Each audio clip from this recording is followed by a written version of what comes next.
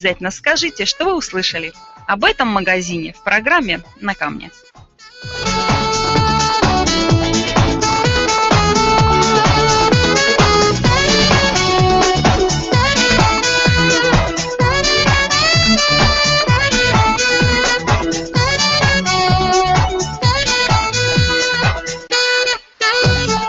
Ну и, конечно же, от тещи поздравления с днем рождения. Это святой Евгений Рубан. От любимой тещи. С днем рождения.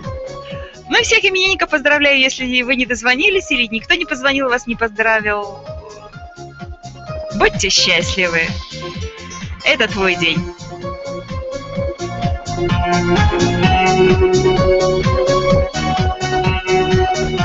Напомню, телефон прямого эфира, если вдруг вы хотите все-таки позвонить, кого-то поздравить, 503-238-9000.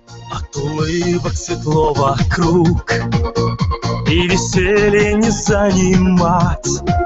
Словно все сговорились вдруг. Каждый хочет тебя обнять. Только счастьем душа полна.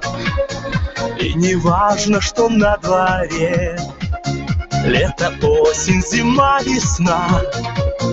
Это твой день в календаре. Твой день рождения Он самый лучший, без сомнения. Отличней нету настроения Твой день рождения Твой день рождения Остались в прошлом сожаления. Отличней нету настроения В Твой день рождения. Пусть еще год один прошел Не печалься и не грусти. В жизни все будет хорошо Так что просто с ума сойти Добрых слов в этот день не счесть. Ведь вокруг все друзья твои. Хорошо, когда в жизни есть Столько радости и любви Твой день рождения, он самый лучший без сомнения. Отличней нету настроения Твой день рождения. Твой день рождения Остались в прошлом сожаления. Отличней нету настроения Твой день рождения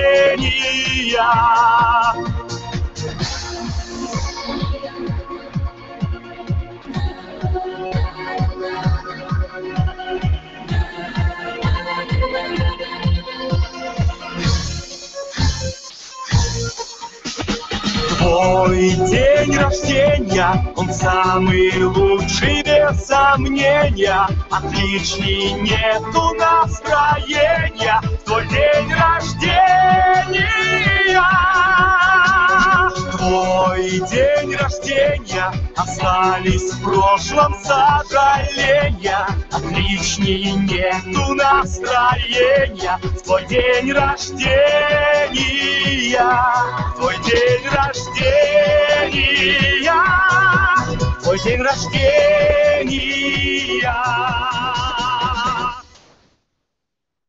Как может быть плохое настроение в день рождения, а? Ну, если только, может быть, подарки не понравятся тогда. Тогда может быть.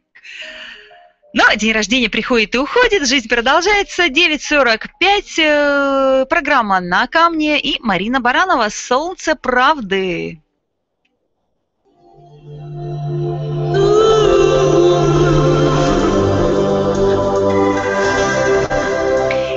друзья, что сегодня понедельник, и сегодня выйдет в эфир программа «Комаров Шоу», и э, гость будет, э, замечательный гость, э, пастор из Славянска Петр Дудник. Не пропустите и готовьте свои вопросы.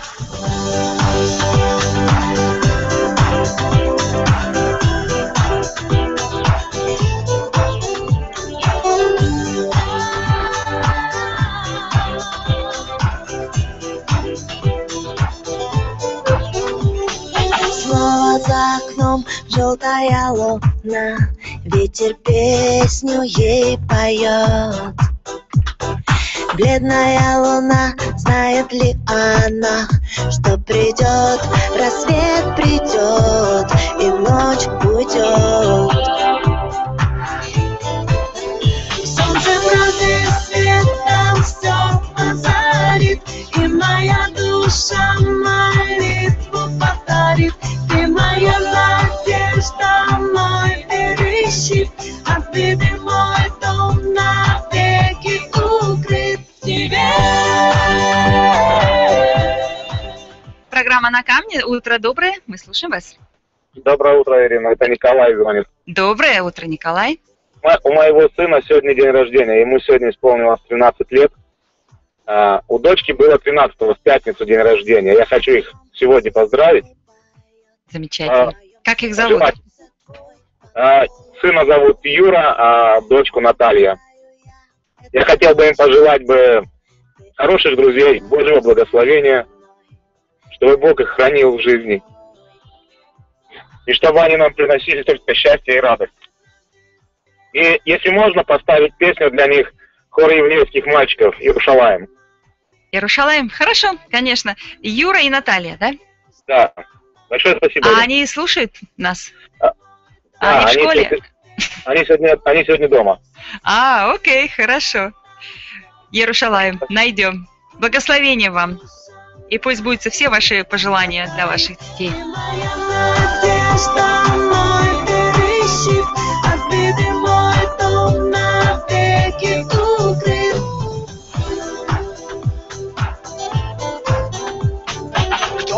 Кто отлучит от любви твоей?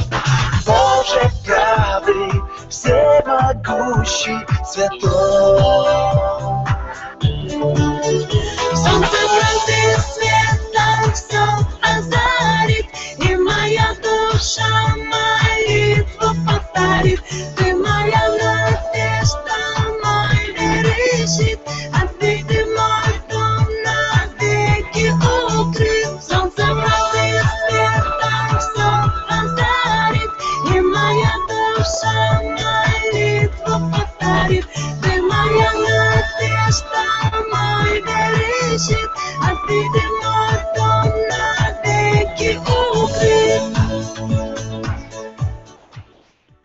пришедшая из э, Тоскана. На 92-м году жизни скончался старший из Романовых, князь Николай Романович. Князь Николай Романович родился во Франции. Во время Второй мировой войны итальянские фашисты предложили ему трон в Черногории, но потомок русских царей отказался и участвовал в антифашистских пропагандистских кампаниях. В конце 20 века он возглавил объединение членов рода Романовых. Мой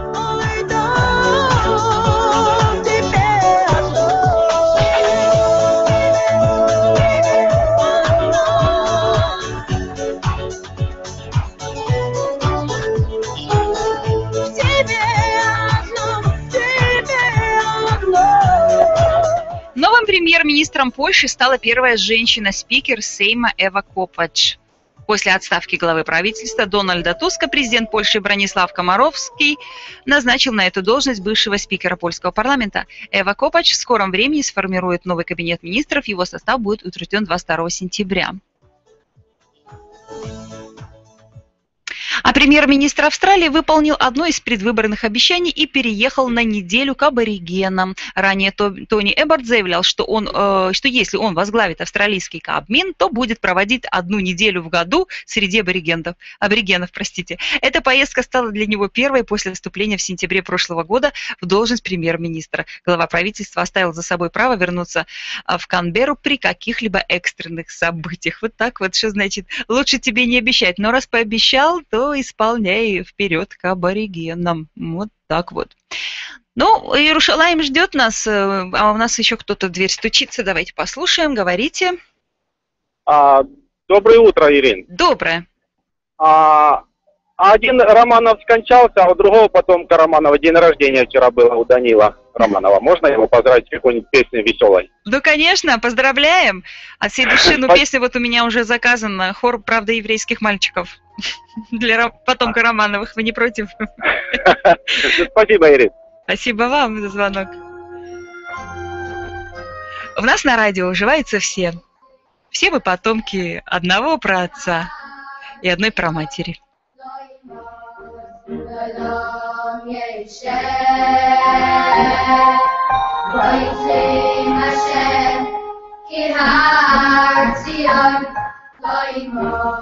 prolongation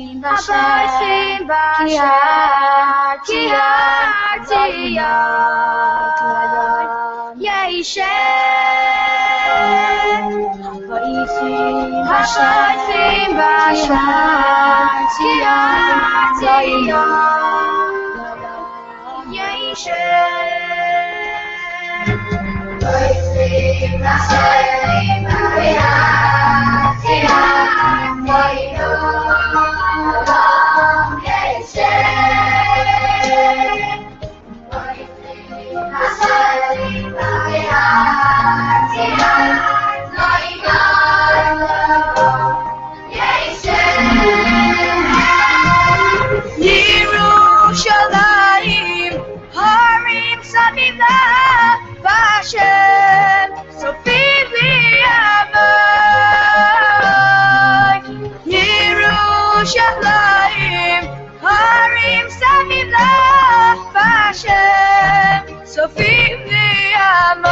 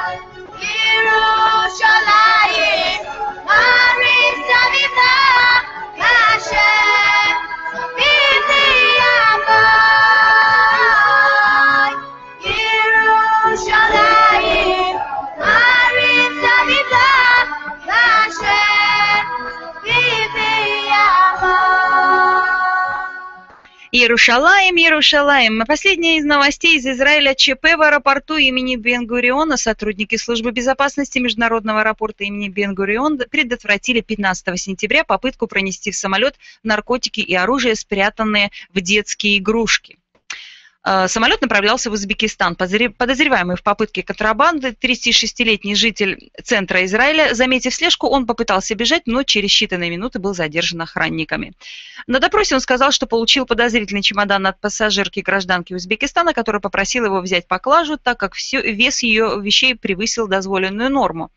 Из-за чре- чрезвычайного происшествия все пассажиры этого рейса и их багаж э, подверглись повторной проверке. Благодаря ей в багаже той самой гражданки сотрудники безопасности обнаружили еще порцию боеприпасов. Часть была спрятана в кукле. А, да уж, э, насколько хорошо в Израиле проверяют security службы, это я с этим столкнулась не один раз. Это, конечно, хорошо.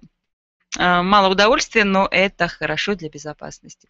9.56, друзья, это Русское радио 7, программа «На камне». Э, Уже, кстати, заканчивается. К вашему и нашему удовольствию. Впереди много интересного, я так думаю. Будет очень интересно на Радио 7. Сегодня понедельник, э, замечательный день. Температура у нас э, будет повышаться до 9-3 градусов по Фаренгейту и будет солнечно целый день, как, в принципе, и вчера. Завтра могут быть облака, а сегодня будет еще солнышко. Загорайте, набирайте витаминчика D, э, набирайтесь позитивчика. Впереди все будет замечательно, я уверена. Прекрасного вам дня и хочу сказать вам, не уходите далеко. Вот, просто не уходи. Песня такая для вас. Доброго дня.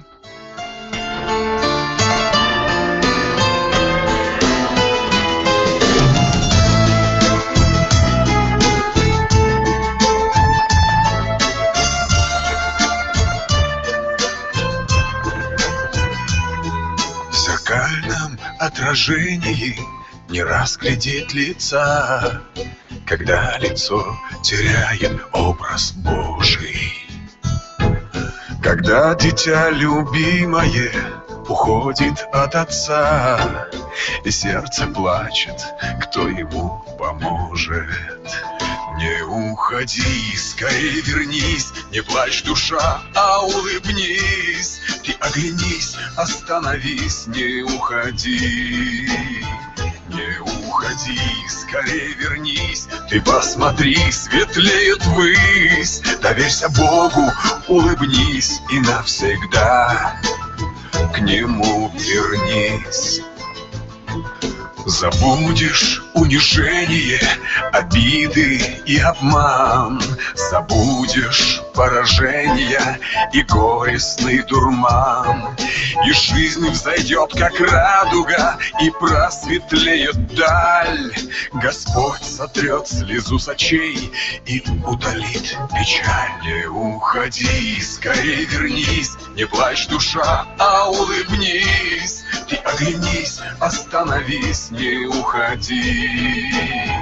Не уходи, скорее вернись Ты посмотри, светлеет высь Доверься Богу, улыбнись и навсегда. К Нему вернись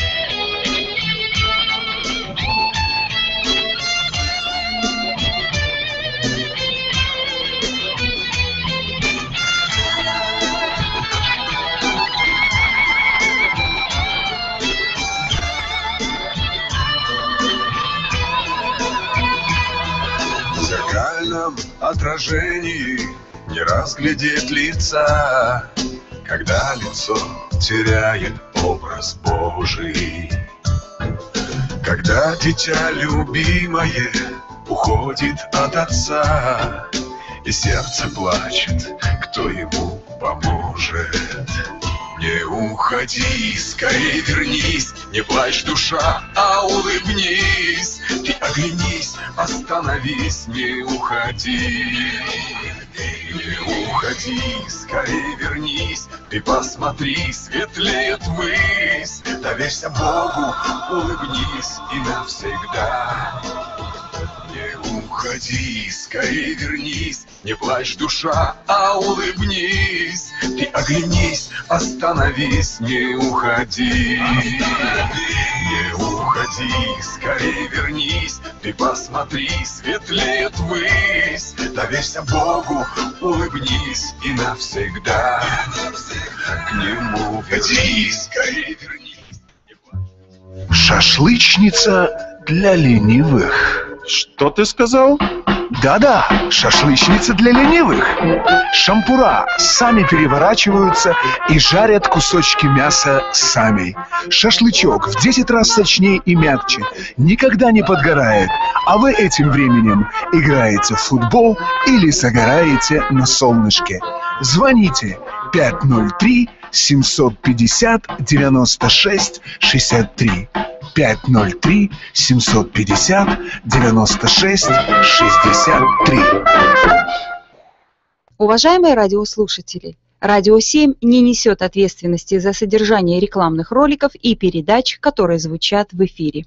Радио 7, 10, 10 АМ. Русское радио.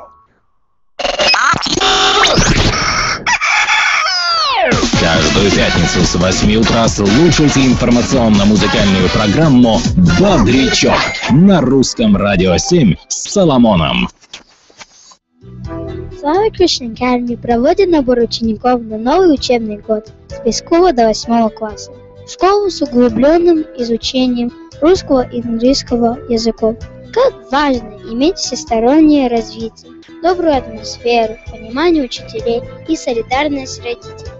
Школьный автобус довезет вас от дома до школы. Я люблю мою школу и советую вам окунуться в мир знания Славянской христианской академии. Мы находимся в Ванкувере, Портленде и Грешине.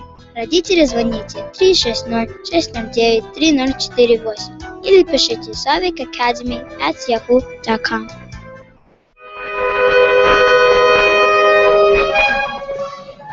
Каждый год на горе любви на Старке собираются все любящие Господа и народ Израиля для встречи Рош Хашана, Нового года. Приглашаем вас на праздник труб под звуки шафаров 25 сентября вечером с наступлением сумерек на горе любви на Старке. Встретим Новый год вместе.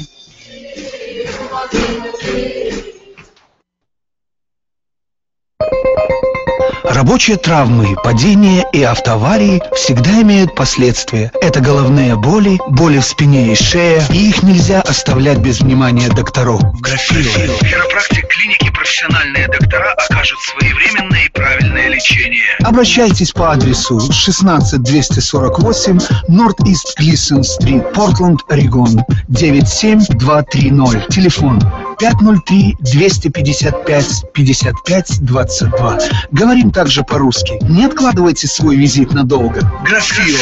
Хиропрактик, клиник 503-255-5522. Зачем ехать в Россию или Мексику для лечения зубов? Access Dental побьет любые цены. Пломбы от 60 долларов, удаление от 70 долларов, коронка 480 долларов и так далее. Приходите, убедитесь сами. 360 852 23 04. Спросите Стефана. 360 852 23 04. Access Dental. Вы еще не знаете, что уже нас любите. Радио 7. Уважаемые радиослушатели, Радио 7 не несет ответственности за содержание рекламных роликов и передач, которые звучат в эфире.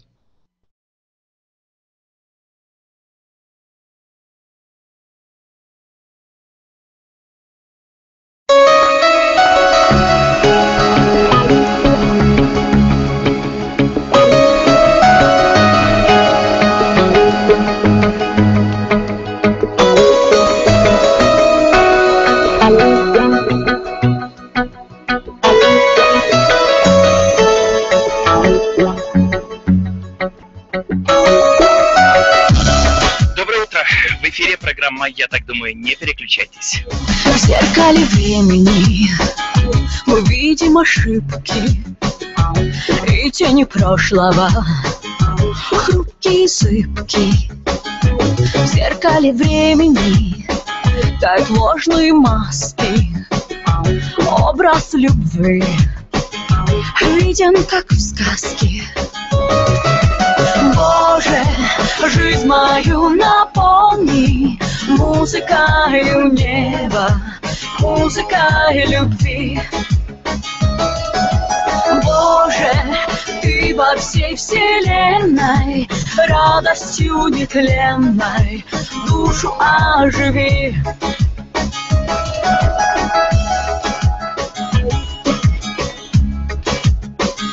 В зеркале времени мы видим утраты И понимаем, в чем виноваты. В зеркале времени ищем спасения И освещаемся Божьим прощением Боже, жизнь мою наполни Музыкою неба, музыкой любви. Боже, ты во всей вселенной Радостью нетленной душу оживи Знаю, только в вечном Боге Я найду спасение, я найду покой. Боже, ты во всей вселенной Радостью нетленной Будь всегда со мной.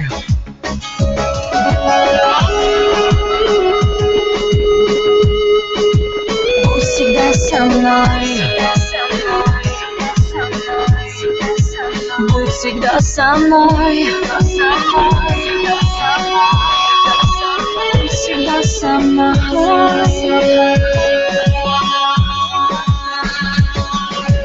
Боже, жизнь мою наполни Музыкою неба, музыкой любви Боже, ты во всей вселенной Радостью нетленной душу оживи. Знаю, только в вечном Боге Я найду спасение, я найду покой Боже, ты во всей вселенной Радостью нетленной Будь всегда со мной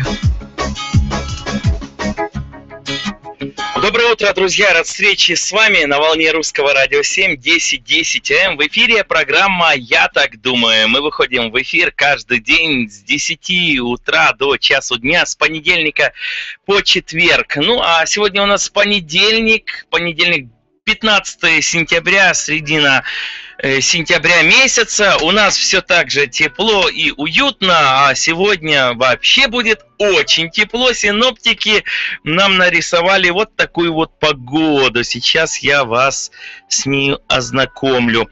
Э, говорят синоптики о том, что сегодня температура прогреется до отметки в 91 градус.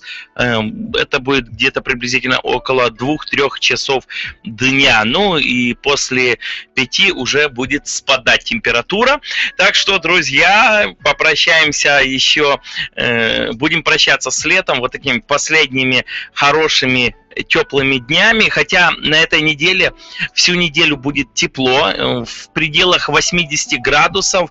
Вот правда, в четверг и в пятницу, э, нет, в четверг 75 градусов, это будет самая прохладная погода. Вот, ну, не сказать, что это прохладно, и это будет просто свежо, э, тепло, э, вот, не холодно. 75 градусов, и, возможно, э, вот есть большая вероятность, что будет небольшой дождик в четверг. Ну, а в пятницу снова поднимется температура к приблизительно 80 градусам. В субботу 88 снова. Вот видите, как только приходит к нам выходные, так сразу же и у нас и погода э, хорошая такая, теплая. Вот вчера было тоже здорово. Я думаю, что вы пользовались вчера, позавчера э, х- х- хорошей погодой. Вот я, я пришел в студию и радуюсь, у нас здесь новый компьютер, вот по-новому как-то все выглядит, вот и, и камера снимает нас по-новому, правда, но нужно ее немножко так вот поправить. Вот так вот. Э, Единственное, друзья, что я очень недоволен, снова кто-то взял мои, мои наушники и поломал их. Представляете, вот э, мои наушники, я всегда их забираю со студии, прячу их в офисе, и кто-то находится, у нас самый такой умный, находит мои наушники, пользуется, и вот каждый раз думаю, ну хватило бы ума положить обратно вот так, как как лежали бы, чтобы и незаметно было бы, вот я бы и не нервничал.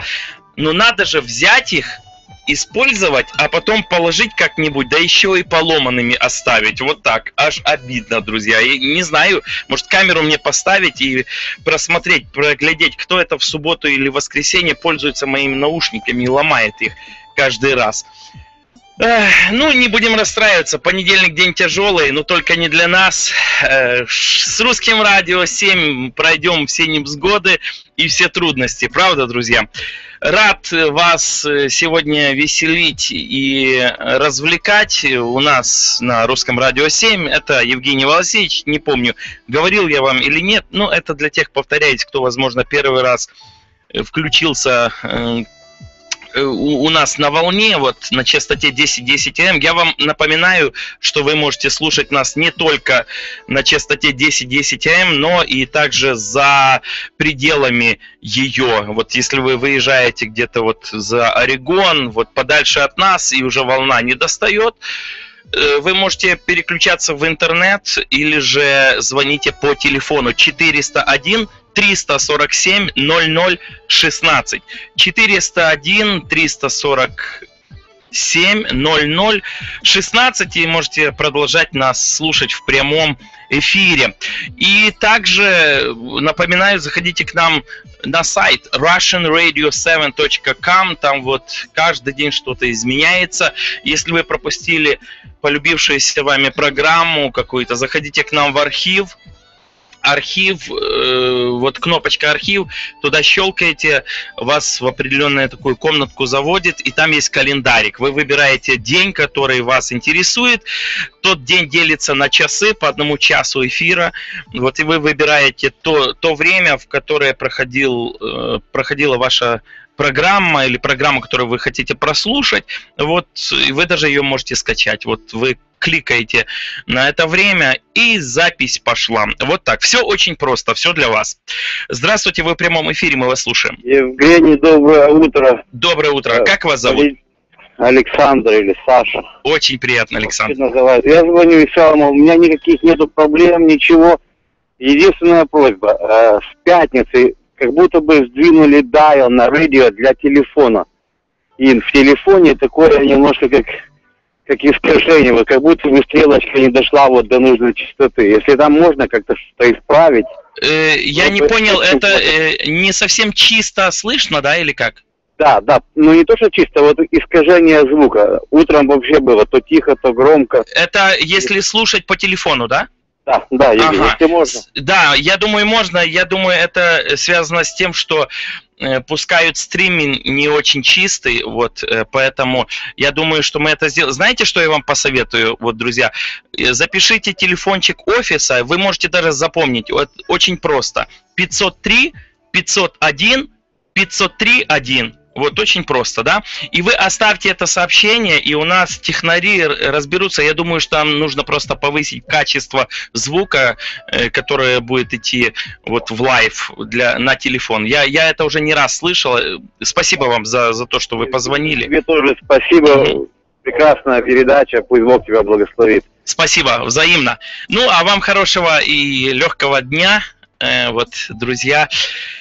Хорошо, э, перед тем, как я подключусь э, к Киеву, у нас сегодня на связи будет несколько человек, э, прямое включение с Украиной, мы поговорим о том, что там сегодня происходит, и также я вас ознакомлю с последними днями в Украине, вот на прошлой неделе, пятница, суббота, воскресенье, но перед этим хочется как-то вот разбавить мой монолог с вами хорошей вот песней.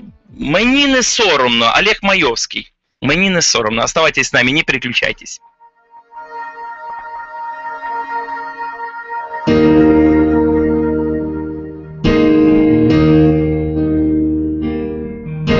Мені не соромно, що українець я, мені не соромно, що Україна це моя земля.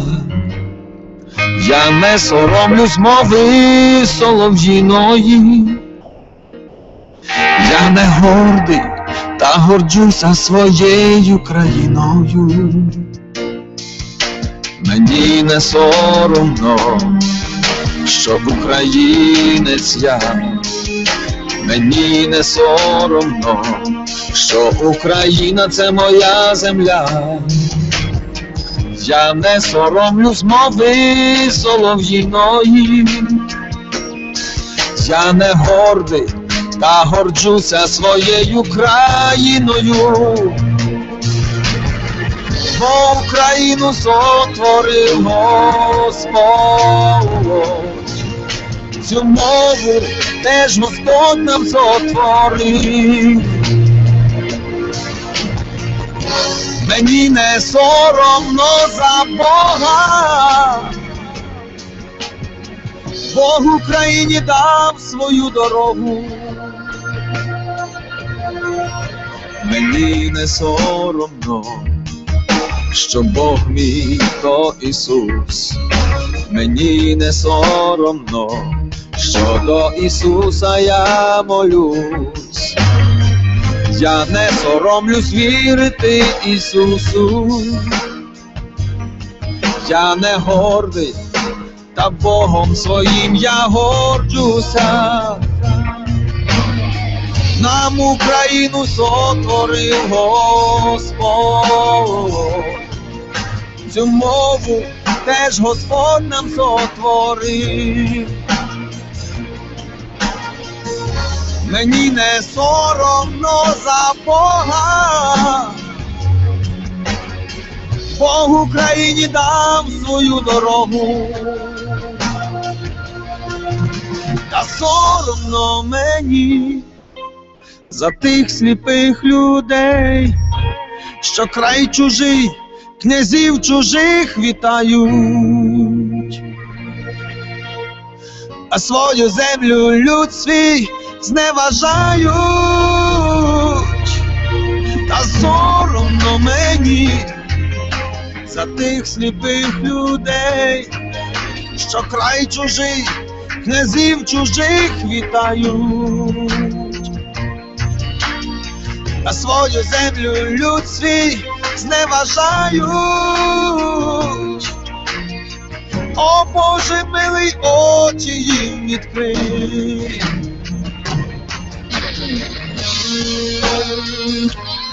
У вас неприятности? Вы пострадали в автокатастрофе или у вас была авария уже давно и вы думаете, что упустили время? Вы хотите защитить свои права и права своих близких?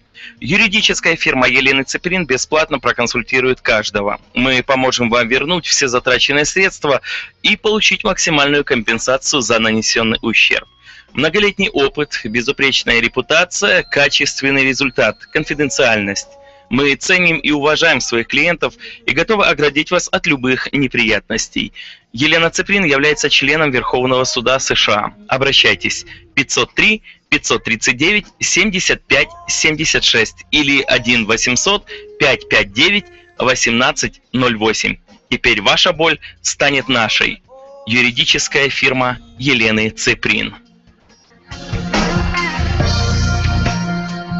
Очі нам. Итак, дорогие друзья, на наших часиках э, 10.20 вы слушаете Русское радио 7 на волне 10.10 АМ.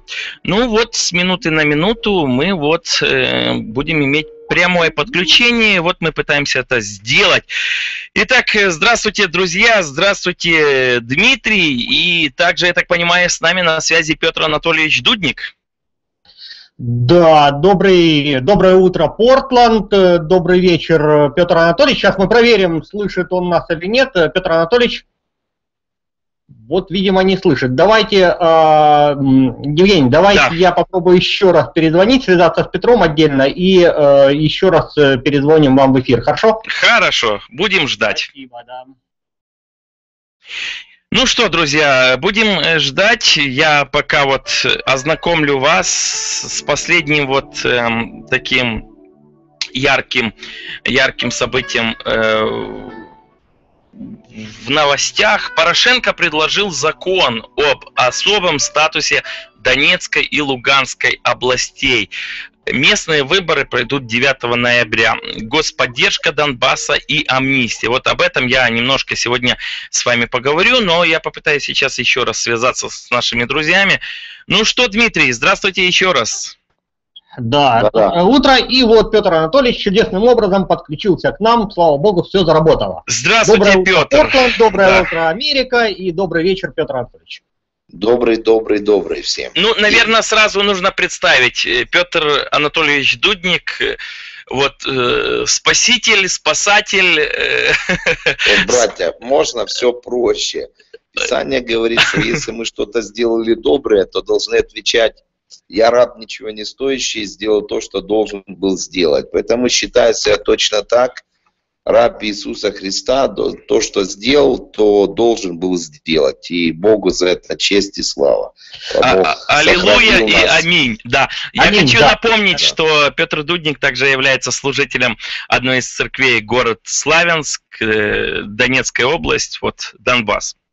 Давайте я начну с вопроса сразу, да, А, Петр Андреевич, вы уже у нас были в программе, а, вы тогда рассказывали о том, что вы делали, а, как вы спасали людей в Славянске, как вы спасали уже после Славянска, когда в Славянск пришла мирная жизнь, и, собственно, с этого момента прошло чуть больше месяца, если мне память не изменяет.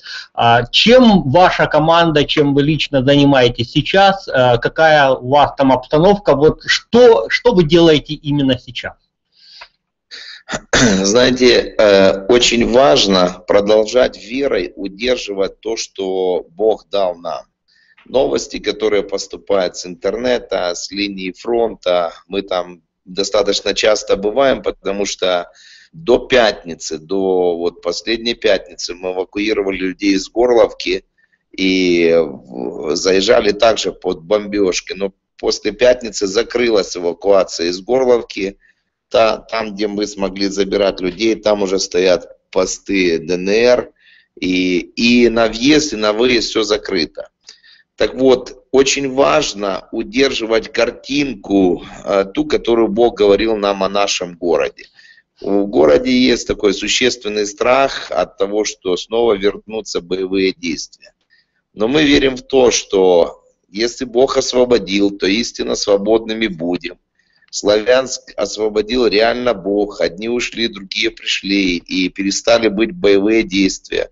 И поэтому важно удерживать молитвенно вот то, что сейчас происходит. Это то, на чем мы фо- фокусируемся. Второе, конечно же, Писание учит нас, что мы все созданы на добрые дела, которые мы должны совершать во Христе Иисусе. И поэтому а, открывается широчайшее поле для того, чтобы просто помогать реально людям. И мы ставим, мы работаем, важно не просто физически помочь людям, что мы делаем, но важно а, помочь людям вот как-то привести себя в какой-то порядок, то есть работать с мозгами или сердцем людей. Мы настраиваем людей на то, что нужно объединяться вокруг идеи, как я могу послужить другому. Поэтому в городе ставим молитвенные часовни, такие палатки, раздаем молитвословы, раздаем брошюру, которую сами мы написали, э, вот с авторстве с Виталием Орловым есть такой хороший пастор и брат, как жить дальше. И на основании этой брошюры даже проводим тренинги с переселенцами и с людьми в городе. То есть постоянно идет посыл на то, что нам нельзя жить в депрессии, нам нужно подняться. И подняться можно через взаимопомощь, через помощь другому. Это вот сфера э, направленности на эмоциональное составляющее, на духовную часть гаража. Мы продолжаем помогать восстанавливать город. Недавно я сел и сам спросил у своих братов, вот со всей командой, говорю, братья, давайте хотя бы посмотрим какую-то статистику. Скольким людям мы помогли э, восстановить дома э, каким-либо образом. От самого минимального просто помогли вставить стекла до ну, больших объектов, где реально там стены закладывали, крыши меняли. Мы насчитали 51 объект за вот время с 5 июля, получается, до сегодняшнего дня, которые мы вот каким-то образом прикоснулись и сумели людям помочь. Я очень благодарен Богу за людей, которые поддерживают, ресурсы определенные присылают, чтобы могли закупать материал и просто помогать людям. В городе очень много переселенцев у нас, их уже около 4 тысяч. Рядышком из Славянском есть такие поселки, как Щурово, там турбазы, и порядка тоже 4 тысяч там переселенцев из Горловки, Донецка, Луганской области, вот просто беженцы. Э, в Светогорске порядка 7, 7 тысяч людей. Это Светогорск это 40 километров от Славянска, курортная зона. Все забито, и, к сожалению, люди выезжали летом, когда была жара, в шортах, э, просто в шлепанцах. Сегодня уже начались холода, и из-за этого много проблем. Поэтому мы стараемся людям э, помочь Э, одеждой, продуктами питаниями. Телефонные линии наши, горячие линии просто не умолкают. Моя жена на основной горячей линии, поэтому у меня конфликт с ней, потому что нет времени детям уделить, а постоянно звонки и помощь людям. Ну вот приблизительно то, что сейчас происходит в Славянске и то, чем мы занимаемся. Понятно. А, Петр Анатольевич, вот такой, э, я, наверное, неожиданный вопрос задам, э, потому что, э, ровно потому, что последнюю неделю я участвовал в нескольких таких дискуссиях, да, в интернете в первую очередь, которые меня натолкнули на вот этот вопрос. Смотрите, рано или поздно война закончится. Да, закончится она там через три месяца, закончится она через полгода, но она все равно закончится с каким результатом мы не знаем, да, мы верим, что э, Украина останется единой, мы верим, во всяком случае, я верю, что э, все разрешится благополучно, но на самом деле результата мы не знаем. Вопрос у меня не в этом. Вопрос в том, что э, беседуя с теми людьми, которые живут, скажем, в Донецкой области, в Мариуполе, да, в моем родном городе, я очень часто натыкаюсь на э, некую непримиримость, некую неизменяемость позиций. То есть э, есть две противоположные стороны. Э, люди, которые смотрят на одни и те же события совершенно по-разному и не могут, и не хотят найти между собой, между собой консенсус. В Славянске война закончилась. Вот скажите, пожалуйста, как сейчас жители Славянска которые э, имеют противоположные взгляды, уживаются с друг другом. Вообще, на, ваш взгляд, возможно ли мирная жизнь, возможно ли мирное существование тех людей, которые раньше или сейчас выступают за ДНР, выступали или, или выступают за присоединение к России, а, ненавидят все украинское, будем говорить прямо, с теми людьми, которые живут по соседству, но выступает ровно с противоположных позиций. Вот как это, возможно ли, с, вот, ну не знаю, сожительство, возможен ли мир между такими людьми? И если да, то каким образом? Видите, если просто э, смотреть с этой позиции, я прав, все остальное не прав, все остальные не правы, или же смотреть с позиции только, только так и никак иначе, или с позиции вот они они враги, их нужно ненавидеть, лучше всего убить и загонять туда свое сердце, то ответ будет вот так невозможно жить, поэтому надо или убить кого-то, или самому исчезнуть. Ну, выхода два. Но если, если рассматривать ситуацию по-другому, и ситуацию рассматривать с позиции «нам важно жить дальше», и важно жить с такими полярными мнениями, то что нас должно объединить? Как жить дальше? И вот я уже говорил перед этим, объединять людей важно не вокруг моего мнения, которое самое правильное, а другое, естественно, ну, абсолютно неправильное. Объединять людей нужно вокруг идеи, как я, как ты можешь помочь другому. Это в самых простых вещах. Например, я кашу траву возле в своем доме. Я выхожу на улицу, и соседу кашу траву, вот, вот, ну, 10 ну, не, не вторгаясь на его территорию, а просто на улице. Там бурьяном все заросло, я просто покосил ему траву. Вот просто маленькие вещи, которые я могу делать, я делаю. И вот этот посыл, как мы можем, от взаимопомощи, он начинает людей объединять. Разных по взгляду. Если они начнут говорить за политику, они могут даже подраться. Но если они говорят за простые вещи, как взаимопомощь, я помогу тебе крышу сделать, а я помогу тебе окна вставить, а я помогу, а я пойдем бабушке поможем что-то сделать, вот у нее вообще все разбито. Это то, что объединит людей. По сути, если брать вот корень всех конфликтов и конфликта в Украине, он записан в Библии. Этот корень называется эгоизм. Библия говорит о том, что в последнее время охладеет любовь.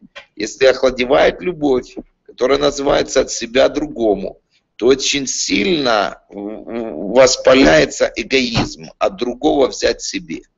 И противостоять этому нужно не просто политическими методами или лозунгами или действиями. Противостоять нужно библейским методом. Разгонять внутри себя любовь от себя другому. Этим можно победить. Вот настоящая победа будет сфокусирована в состоянии любви от себя другому. Тогда можно два непримиримых э, лагеря людей, которые в политической сфере не сходятся сегодня. Их нельзя переубедить, они просто прошиты. И не просто прошиты, у них э, ну, под определенным влиянием бесов, я не, не побоюсь этого сказать, потому что суть бесов, которые сегодня выпущены в мир, если, э, э, если раньше бесы лет 20 назад были выпущены в мир без сексуальной распущенности, то сейчас выпущены в мир бесы сепаратизма или разделения. И им все равно, какой цвет флага. Главное делить. Семьи, города, церкви, страны. Главное делить. Так вот, противостоять вот этим бесам разделения можно только любовью от себя другому. Вот мой ответ. Это то, что мы видим в Славянске. Это не просто пасторская проповедь воскресная. Ну, то есть это, это не то... теория, это практика. Оно сейчас... Это практика, это то, чем мы занимаемся. Я когда приезжаю как, на улицу, на, на любую улицу, где есть разрушение, и я и там начинаю с людьми разговаривать, чтобы, ну, там, по поводу того, как мы будем восстанавливать вот этот дом, помогать. Люди эгоистично тянут, а почему ему, а не мне? Начинают рассказывать за свои политические, на украинском, вподобания. И, и, я ухожу от этих вопросов и говорю, слушай, а как ты поможешь ему? Вот я хочу помочь, я это делаю, а как ты можешь помочь? Почему ты думаешь, что тебе должны помогать? А давай ты посмотришь, что ты сделаешь доброго. И, и если этот посыл идет нормальный, человек как-то замолкает, начинает думать и что-то делать. Интересно, мы отстраиваем, помогаем отстроить, ну или лучше сказать, отстраиваем полностью с нуля один дом семье. У них трое деток, э, мама и папа. И вот мы им там помогали, сначала расчищали, потом сделали фундамент, сейчас готовим, уже сделан проект, будем, ну, с, э, готовим дом, короче. И вот напротив этого дома жила бабушка Вера. У нее тоже раз, там два снаряда упало в ее дом, разбила крышу, окна подвинулось. И как-то у нас нашлась возможность ей начать что-то делать. Мы пригласили вот этого Лешу, которого трое детей. Говорим, пошли поможешь. Невероятно. Он, когда свой даже дом делал, он так помогал, но когда пришел туда и втянулся с нами, вечером он говорил, слушайте, я пережил что-то, что просто мне трудно, трудно как-то выразить словами, вот что-то особенное. А вот это особенное, это как раз помочь другому. Он говорит, я завтра тоже приду. И он пришел и второго, и третьего дня, помогая, просто бесплатно служа, но ощущая то, что вот, вот это ощущение любви, которое Бог заложил внутри нас, оно внутри него начало разгораться от себя другому. Петр Анатольевич, э, Дмитрий, я бы хотел и наших радиослушателей, и вас э, ознакомить вот э, совсем недавним, буквально вот, может, последние сутки, э, письмом, которое написал, или блог, вернее, Сергей Демидович. Называется «Меня вчера контузило, потом ранило, а потом разорвало mm. сердце. Только к утру я воскрес». Вот чтобы немножко люди поняли ситуацию, о чем мы с вами говорим. Вот что он пишет. Я не знаю, хватит ли, э, хватит ли у меня времени и желания все прочитать, но это честно и, к сожалению, будет не совсем позитивным. Вчера к, э, с, опера, э, с операторами поехал на вы, вывоз беженцев с Горловки. Хотел снять репортаж, как важно вывозить их, спасать. Это, кстати, совсем немало стоит. Прислать машины с Славянска, развести людей по разным городам, кормить их потом. И, в общем, все совсем непросто. Увидев камеры, народ, стоящий в ожидании наших автобусов, вдруг э, стал на, зе- на меня злобно буквально рычать. Что вы снимаете? Интересно, да? Вы нам предлагаете эвакуацию, да? Зачем? Она нам не нужна. Вы нам мир предложите. Мы тут уже задолбались. Это, конечно, смягченный вариант истинной сути, что с ними произошло, по их мнению. Лица отворачивают и уходят от меня, как от заразы.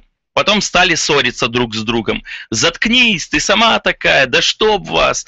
Варианты все самые по-прежнему ум- умягченные, вы же понимаете. Ибо не могу позволить себе оригинальные термины донбасских беженцев. Вдруг стало как-то так грустно, а они продолжают. Пусть уйдет Порошенко, пусть уберется, уберет войска и добавляет. А почему вот в, ба- в банковских автоматах нет денег? А почему? Я в шоке. Говорю, ну как вы хотите, убрать войска, убраться самому, а вам только каждый день наполняя автоматы деньгами?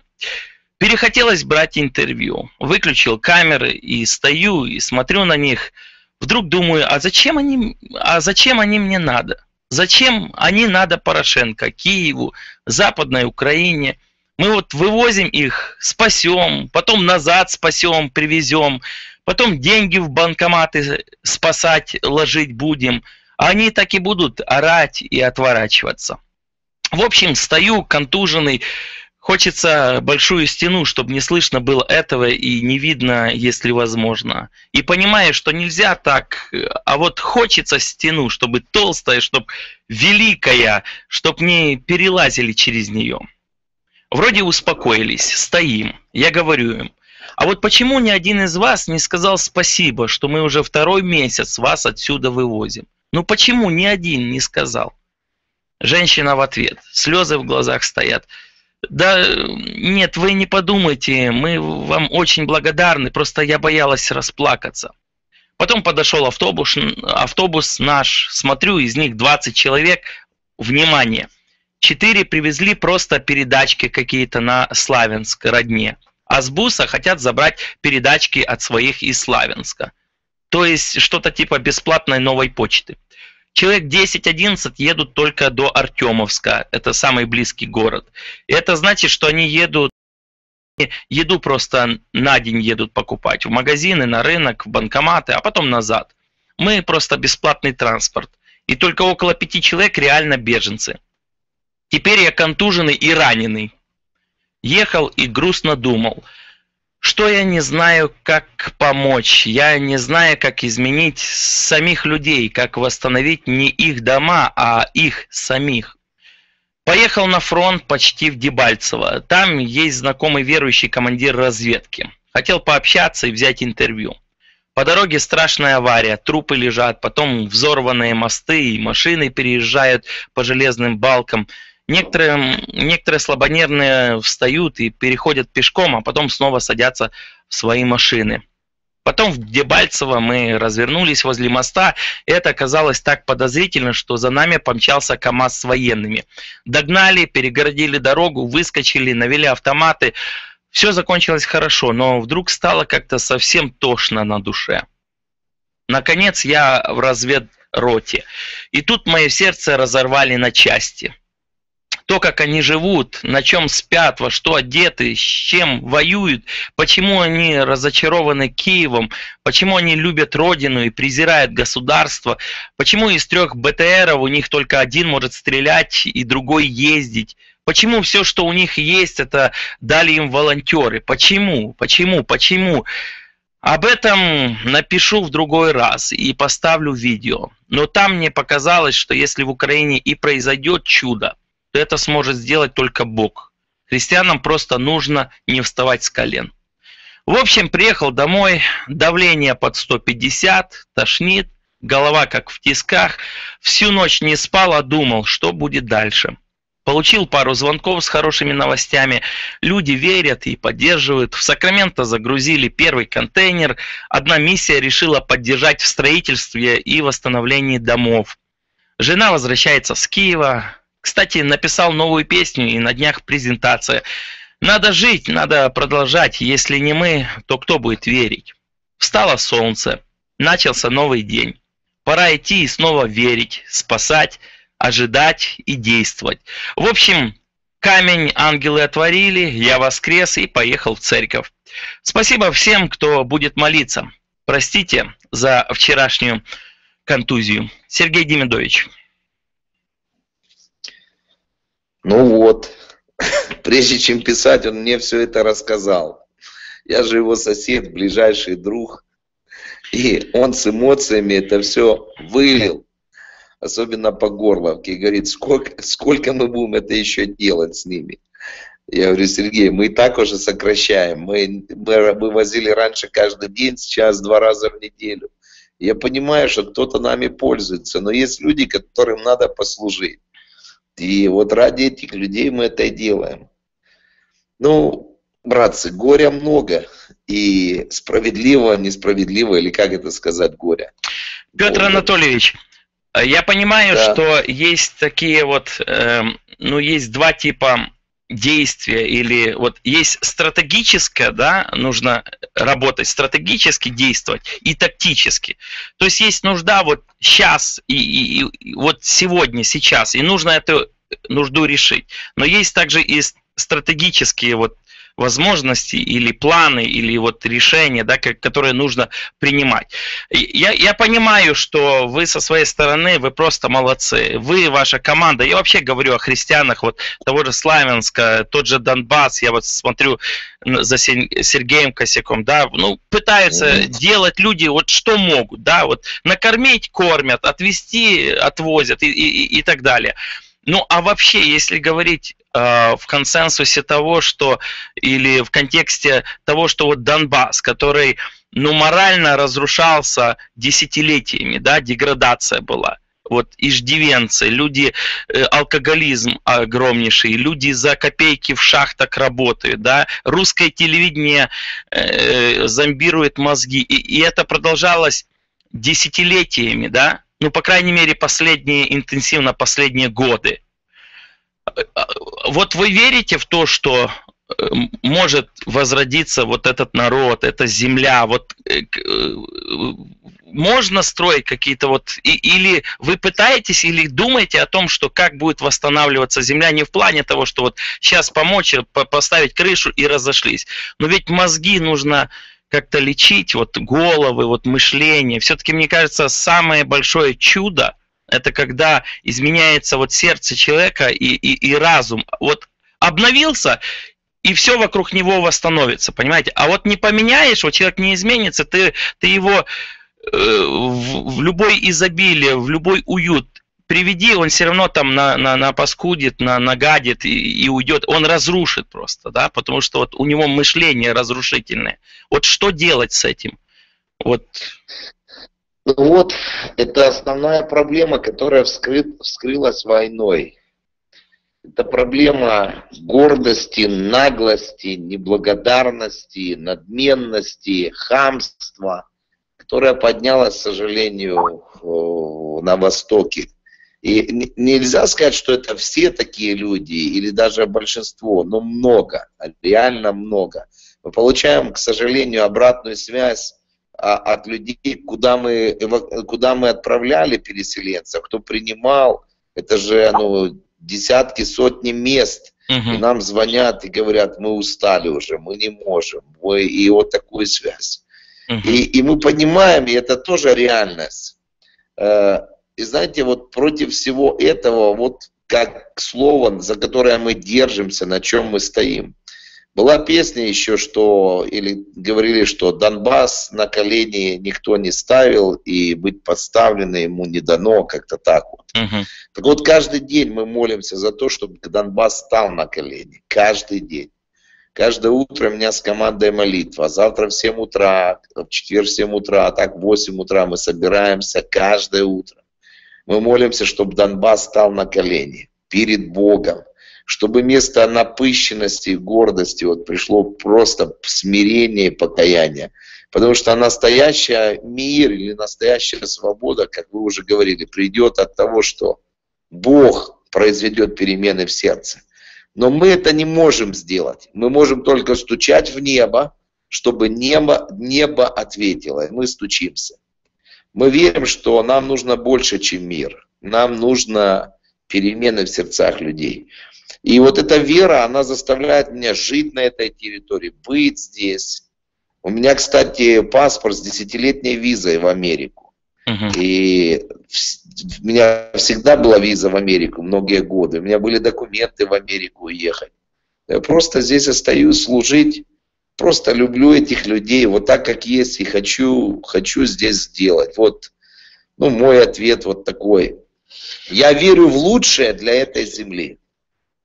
А, Петр Анатольевич, э, попробую другой вопрос задать, да, как бы развернуть совершенно в другую сторону.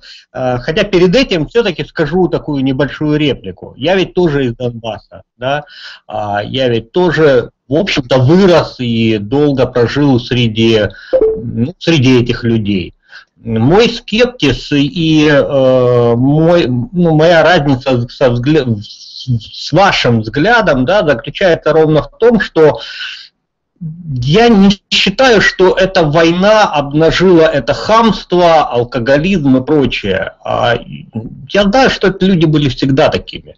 Это, может быть, сейчас разделило вот э, хамов отдельно, а людей как-то, которые понимают что-то больше, чем водка и, и работа в копанке отдельно, да.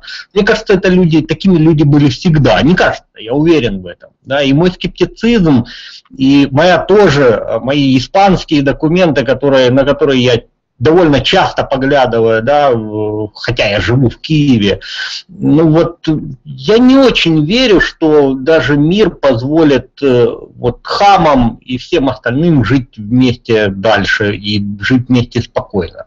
Но мой вопрос не в этом на самом деле. Мой вопрос совершенно неожиданный, наверное, для вас. Да? А, у нас сейчас выборы. Вот они начались. В прошлый раз я вам тоже задавал этот вопрос. А, вот если вам предложат э, какую-то там должность, э, да, вы пойдете вы или нет, вы тогда мне сказали, что если предложат, то вы готовы пойти. Вот э, сейчас все партии, которые э, готовят, готовятся идти на выборы, они разрывают между собой комбатов, разрывают между собой активистов, волонтеров и прочее. Вопрос, собственно, два. А, во-первых, не предлагали ли вам попасть в какой-то список, да, второе, не собирались или не хотите ли вы выдвинуться сами в депутаты? Ну, мне кажется, в прошлый раз я не совсем так отвечал. Мне так кажется, не буду уточнять. Но сегодня я все больше и больше убеждаюсь э, в некоторых моментах. Во-первых, э, предложение о том, чтобы как-то вот там баллотироваться в городе, там, чуть ли не на мэра, оно поступает с разных сторон. У меня никогда не стояла цель власть, никогда. И а, я хорошо понимаю, что такое власть со стороны ответственности. И сегодня я все больше и больше утверждаюсь в том, что я хочу быть на своем месте, хочу быть пастором, служить то, что я, чем я могу служить, и делать то, что я могу делать. Причем я думаю, что уровень влияния достаточно большой, и не думаю на самом деле, что будет больший уровень влияния, когда просто я буду занимать какую-то чиновническую должность. У вас будет больше ответственности. Вы таким а, образом будет не больше ответственности, которая будет забирать у меня ресурсы на решение простых технических вопросов, коммунальных служб и все остальное. А по сути, я не, не, не, не вопрос во мне, как в хозяйственнике. Я человек, который несет вот что-то глубже, перемены на уровне на уровне сердца, вот свет Божий. Поэтому я думаю, что в роли пастора или в призвании пастора я смогу сделать больше. И поэтому от этих предложений я вот точно так и отказываю. Я хочу служить в том, что я есть. Если Бог захочет, то это Бог захочет, и я это буду точно знать. И если Он действительно увидит, что Э, для расширения Царства Божьего нужна следующая ступень. Я это, я это увижу, я это пойму, он мне скажет за это. Пока я это не вижу, зато вижу много предложений, много желаний и э, много переговоров или разговоров в эту сторону. Но я от этого я отдаляюсь от этого. Ну, очень жаль. А скажите, вот есть какие-то люди, которых вы, э, скажем, вот на таком политическом поприще, хотя бы в своем городе, да, поддерживаете, ну или там лоббируете, или предлагаете вместо себя?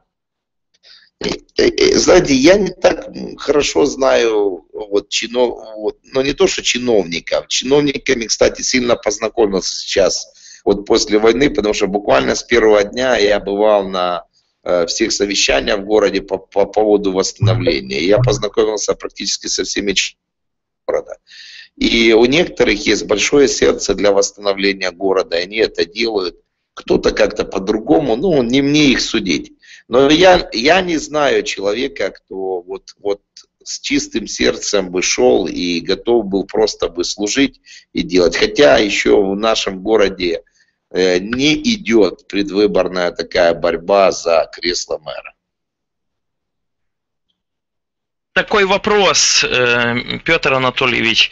Вот предложение, сейчас вот последние новости, Порошенко предложил закон об особом статусе временном на три года, я так понимаю, Донецкой Луганской областей. Вот вы как житель э, вот этой части страны, как вы ощутили, вот как вы расцениваете это предложение, чтобы вот вашей местностью руководили вот сепаратисты, я так понимаю, ДНР и ЛНР? Ну, я вот сегодня вечером, буквально перед этим разговором, прочитал проект этот, и он, к счастью, не касается нашей местности, именно славянска и этой территории здесь. Я думаю, что Порошенко услышал боль Сергея Демидовича, когда тот кричал о стене. Но горе в том, что он кричал вчера, а сегодня утром он говорит, что вот солнышко взошло и надо служить людям дальше. Не знаю, мне сложно найти, вот разобраться. Ну, ваше личное ощущение, я понимаю, но ваше личное. Мои вот, личные да. ощущения. Если бы Славянск очень... попал бы под, э, под влияние ДНР, если бы не освободили и предложили вот Славянск или Славянск, вот это, это вот особый ДНР или ЛНР, вот что, как вы э, почувствовали эту новость? Я бы почувствовал очень трагично эту новость, потому что я не гражданин ЛНР или ДНР. Я в списках у них, ну, как бы непригодный для, для, их, для их граждан. Угу. Поэтому не народ. я не хотел бы быть просто расстрелянным, просто за то, что я верю в Бога, служу людям и помогаю им каким-то образом. Поэтому таких людей им не нужно. Поэтому я был вынужден а, в свое время оставить город и жить за городом, буквально сразу за городом, где заканчивается их территория. И я, к сожалению, не смогу находиться на этой территории и что-то делать. То есть такое решение Порошенко было бы для вас убийственным? Я так да. понимаю. И для многих, я да. думаю, это также будет. Э, у нас время очень быстро бежит, остается буквально несколько минут. Э, Петр Анатольевич, чем мы можем помочь? Вот, э, это не попрошайничество, но мы реально вот хотим знать картину и в чем вы нуждаетесь, чем люди могут по, поучаствовать в, вашей, в ваших вот скорбях, проблемах там, вот, Славянск и, и ваша территория, вот, Донбасс. Ну, я лично верю, что вот как Бог сверхъестественно освободил Славянск, я, я это подчеркиваю, Бог может сделать сверхъестественно это с Украиной, вот с этой частью. Uh-huh. Я не знаю, на, смирил ли Бог вот уже настолько вот эту гордыню, смирились люди или нет, наполнилась ли мира. У Бога есть планы, которые с частью выше, чем наши, и Он лучше их понимает, ну, знает их, чем мы. Поэтому я за то, чтобы очень серьезно относились к молитве. Не только за мир, а вот за вот эти преобразования внутренние людей. Первое.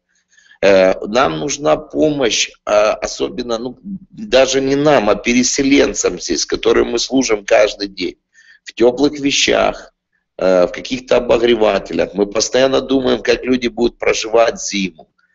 И в эту сторону стараемся ну, наши возможности. У нас есть здание бывшего репцентра, которое мы готовим под переселение где-то 70 человек. Детский приют ремонтируем, чтобы там дети были и переселенцы отгородить.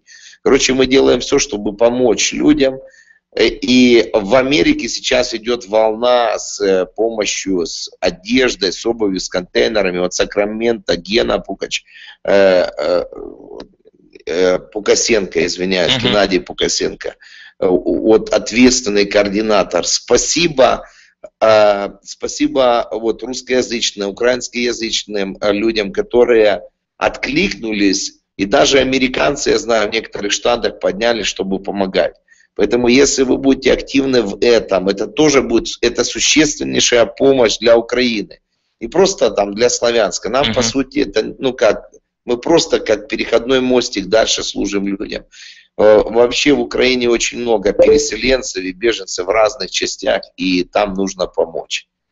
Э, Поэтому а, вот если вы направите свои усилия в эту сторону, это будет, это будет хорошая помощь. Мы вас услышали. Э, я знаю, что готовится и в Портленде тоже контейнер, и да, да, планируется. Вот пастор, Юрий, да. пастор Юрий буквально на этой неделе заканчивает сборы и отправляет контейнер. Спасибо большое. Виктория Коваленко, вот просто спасибо от всего сердца. Я, Знаете, кстати, еще мне хочется... Да -да.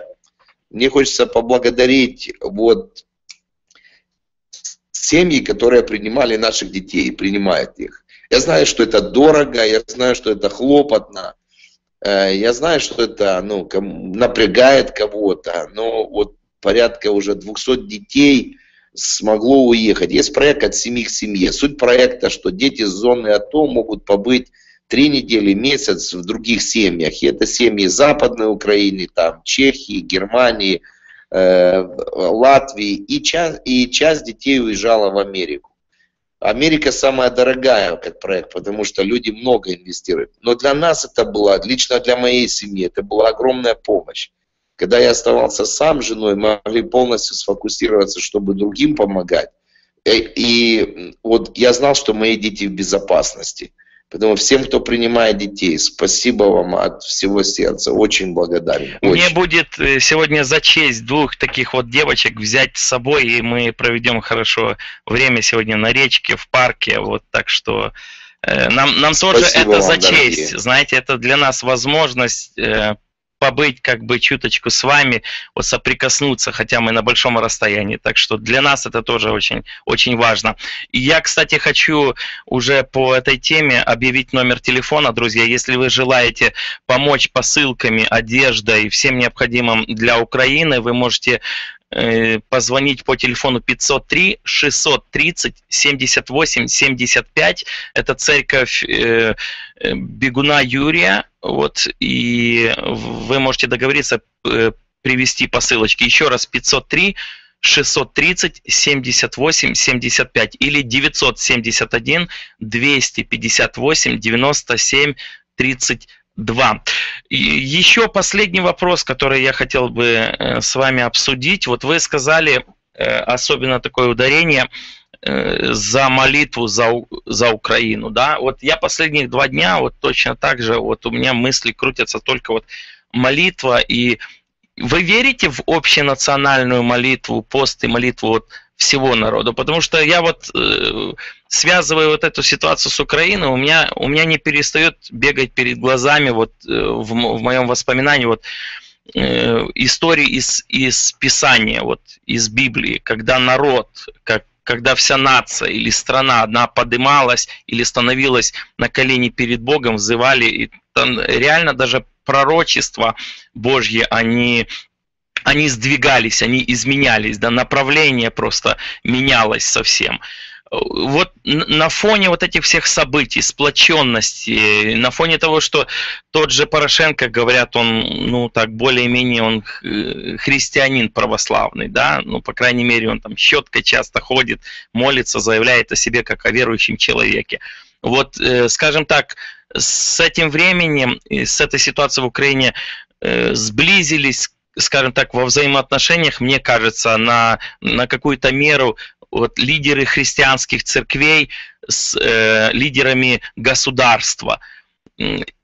насколько реально на- вот объявить или договориться о, о национальной молитве, э, о посте, о молитве. Вот поднимаются эти вопросы или нет? Вот почему не объединиться? Потому что мы слышим, то несколько недель назад э, было э, там пятидесятническое движение делало вот в конце августа, да, э, молитву, там пост и молитва несколько недель. Потом баптистское братство присоединилось. И как бы так, мы так порознь там видим там огонек, там огонек, там вспышка. А вот чтобы объединиться всем народом, верует в Бога, кто-то кто верит в другого Бога, вот как бы сплотиться, чтобы вся нация с- э, стала в вот этот пролом. Вы верите в такое или нет? Или это все Ну, фантастика? Смотрите, на самом деле вот такие трехдневные посты и молитвы проходят на национальном уровне среди всех братств. Ну вот, как вы сказали, пару недель назад или три недели где-то, или может быть пару недель назад, у нас был пост и молитва, и это э, ну, практически все украинские. То есть это касалось э, всех основных деноминаций проти- евангельских христиан.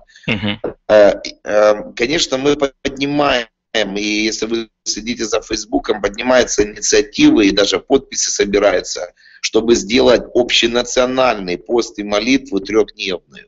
То есть мы поднимаем эти вопросы вообще для, как вы сказали, для всех людей, буквально для всех. Кто понимает, кто не понимает это, но вот а, само объявление это, это было бы очень сильно. Но постоянно идут молитвы в церквях наших, в, в, в, в движениях самых разных. Инициатива молитвенная постоянно, на, на высоком уровне. Мне кажется, мы еще не молились за всю историю так, как молились в этом году. Вот Украина еще не молилась. Ну, я думаю, это будет большой прорыв, если все-таки на национальном уровне, когда Петр Порошенко объявит, что вот согласовали все, за- закрываем все увеселительные заведения на три дня, и каждый молится своему Богу, да. Э, Мы-то понимаем, кто есть Бог, да, но все-таки даже вот как бы, э, чтобы сплотить всех людей, это, это было бы здорово. Мне кажется, все-таки история нам подсказывает правильные рычаги, правильные шаги к решению вот таких вот самых тяжелых моментов в истории стран. Хорошо, э, Петр Анатольевич, спасибо вам большое, что вы были э, вместе с нами, что вы пожертвовали Да, своим Спасибо, временем. Петр Анатольевич, огромное. Во-первых, конечно, мира, а, вот мира, э, чтобы ничего в этом плане для Славянска, для вас и для Украины не менялось, чтобы мир у нас оставался. И, наверное, чтобы вы по-прежнему оставались тем вот, ну, может быть, неофициальным, но все-таки духовным лидером, да, таким вот Славянска, как, каким вы являетесь и сейчас. Спасибо, братья, спасибо за возможность говорить людям честно, открыто. Спасибо за все поддержки, знаете, за молитвы, за посвященных людей, которые приезжают, звонят. Ну, знаете, в этой войне мы реально увидели, как тело Христа работает. Никто не спрашивает, с какой ты церкви, и мы не спрашиваем. Просто люди отзываются, принимают, служат, кормят, присылают. И это, знаете, у меня вот по Матфея, по 25 главе, там написано, что церковь, она 50% останутся говорить, а 50% они резко живут. Я вижу, что это происходит прямо сейчас. Очень благодарен тем людям мудрым, кто не только говорит, но и действует. Спасибо вам от всего сердца. Это было прямое включение с Киевом и с Славянском, Донецкая область. Друзья, мы с вами не прощаемся, буквально через несколько минут мы снова встретимся с вами в эфире. Оставайтесь с нами. Дякую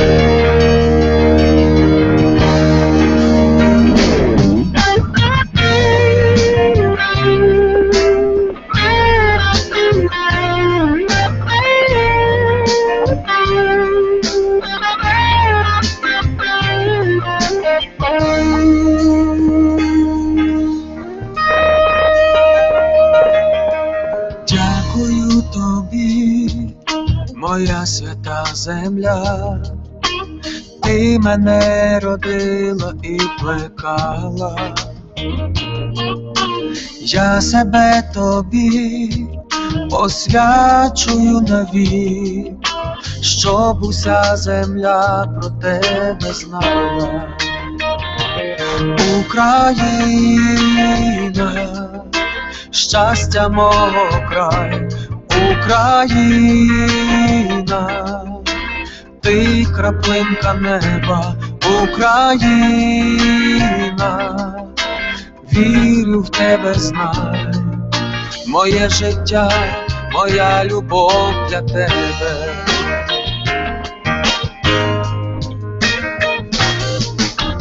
Дякуємо ми Всевишньому Творцю, що нам сотворив таку країну, де родились ми, де будем ти і я жити і ростити Україну. Україна, щастя мого край, Україна, ти краплинка неба, Україна, вірю в тебе знай, моє життя, моя любов для тебе.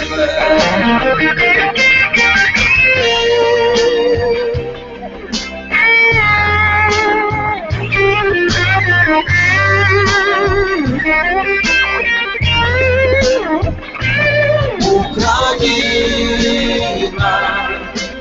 вірю в тебе знай, моє життя, моя любов для тебе, моє життя, моя любов для тебе. Уважаемые радиослушатели, напоминаем вам, что редакция Русского радио 7 не несет ответственности за содержание рекламных роликов и программ, которые звучат в эфире. Радио 7, 10, 10 АМ. Русское радио.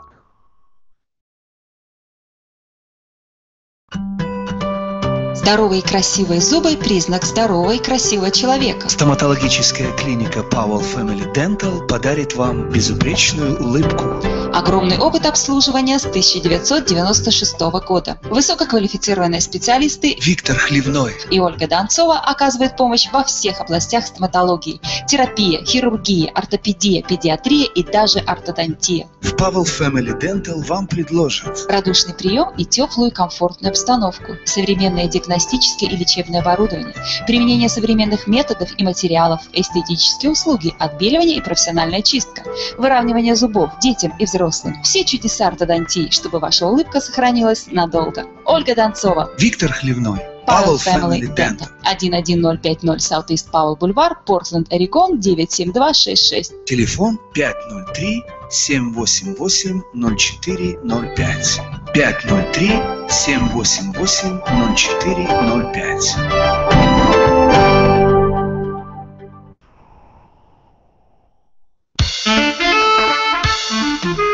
Ого, как он играет!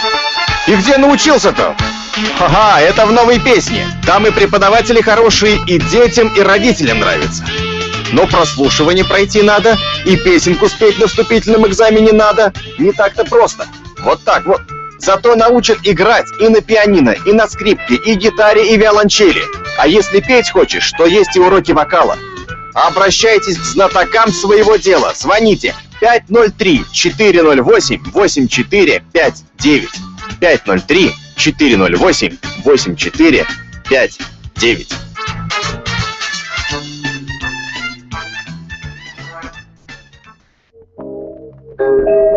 Доктор Виктор Польчаковский. Три медицинские профессии в одном специалисте. Медицинский доктор, доктор натуральной медицины, доктор мануальной терапии. Обращайтесь с болью в шее и в спине в результате травмы на работе или автоаварии, с хроническими заболеваниями. В течение одного визита вы получите консультацию, аджастмент, рецепты на лекарства, Телефон 971 570 37 27. Лікар розмовляє також на українській мові. 971 570 37 27.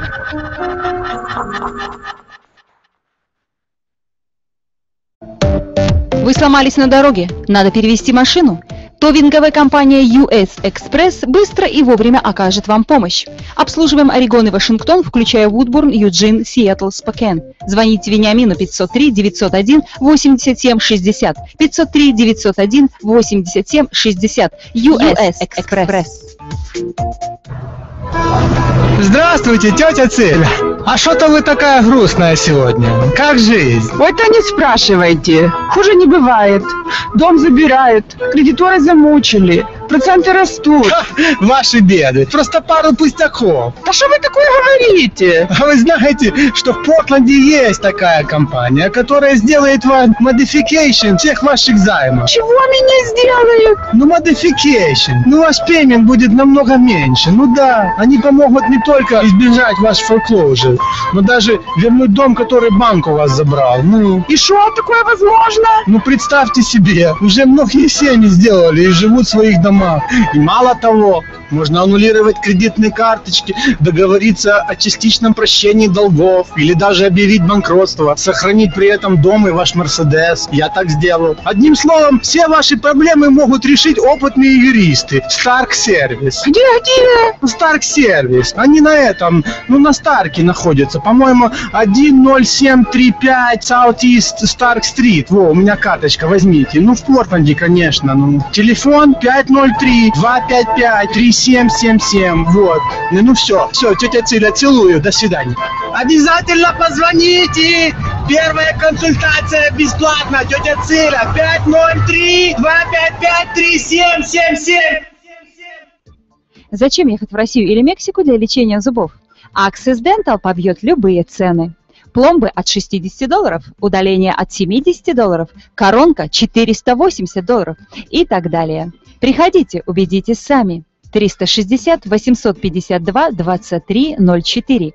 Спросите Стефана. 360 852 23 04. Access Dental. Вы еще не знаете, что уже нас любите. Радио 7. Уважаемые радиослушатели, напоминаем вам, что редакция Русского радио 7 не несет ответственности за содержание рекламных роликов и программ, которые звучат в эфире.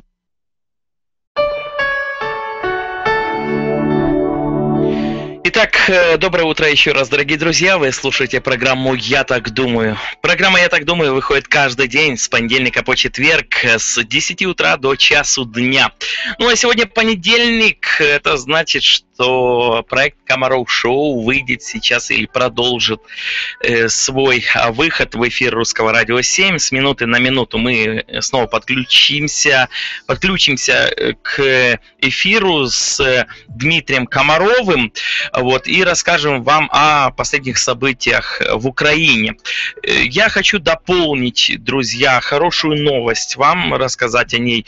Я как-то вот недельки две назад э, делал объявление и знакомил вас о том, что миссия «Милосердный самарянин» э, помогает вот продуктами на Украину или на Донбасс. Вот, и буквально вот совсем недавно отправили 25 тонн картошки и 18 тонн других вот продуктов, такие как мука, макароны, а, вот, и так далее. И собирается еще вот с дня на день э, будет э, передан э, следующая вот помощь. Это 20 тонн картошки снова и 20 тонн других продуктов. Тоже как мука, также будет макароны, масло подсолнечное и так далее. Вот так, если вы хотите стать участником этой помощи, мы вас приглашаем. Пожалуйста, обратитесь в миссию «Милосердный самарянин». Вот, и вы можете поучаствовать, у кого-то 10, 20, 50, 100 долларов. Я раньше вам говорил о том, что э, там стоил, э, стоил один такой набор, я вот не совсем до конца помню, там около 100 долларов, чуть больше 100 долларов стоил такой набор продуктов, который обеспечит вот э, всю семью вот самыми необходимыми базовыми продуктами. Вы, вы можете и в этом поучаствовать. Звоните по телефону, у меня сейчас нету с собой, хотя я могу сейчас сейчас найти. Вот если вы хотите стать участником, пожалуйста, я вас приглашаю. Вот, звоните по телефону 503 419 73 35. 503 419 73 35. Миссия «Милосердный самарянин». Э, Друзья, вы слушаете программу «Я так думаю» благодаря поддержке клиники Manual Medicine. Я хочу представить вам доктора Ли Чен и доктора Николая Чернухина. Это костоправы из клиники Manual Medicine. Клиника эта находится в городе Ванкувер на улице Милл Плейн возле Walmart. Вот недалеко на перекресток Милл Плейн и 205 фривей. Мы приглашаем всех нуждающихся в лечении. Если у вас нет возможности заплатить, по четвергам лечение бесплатно. При желании можете внести пожертвование, которое будет передано в благотворительные организации. По остальным дням недели мы лечим людей после автомобильных аварий. Также у нас имеется возможность сделать снимки рентгена, компьютерной томографии и МРИ. Обращайтесь по телефону 360 737 9665 360 737 9665. Друзья, помните, если вы попали в автоаварию, вам нужно обязательно э, сходить к доктору, проверить, э, вот или все у вас в порядке, нет ли повреждений, потому что э, нередко случается так, что получил человек повреждения, нарушил суставы какие-то, вот, э, или кости, вот, или с позвоночником проблемка появилась, а он об этом не знает, и потом через некоторое время только появляется уже э, вот проблема в результате этой аварии. Поэтому я вас приглашаю, э, обращайтесь в Manual Medicine клинику, доктор Ли Чен или Николай Чернухин помогут вам э, вылечиться или проведут полный анализ после автомобильной аварии. 360 737 96 65.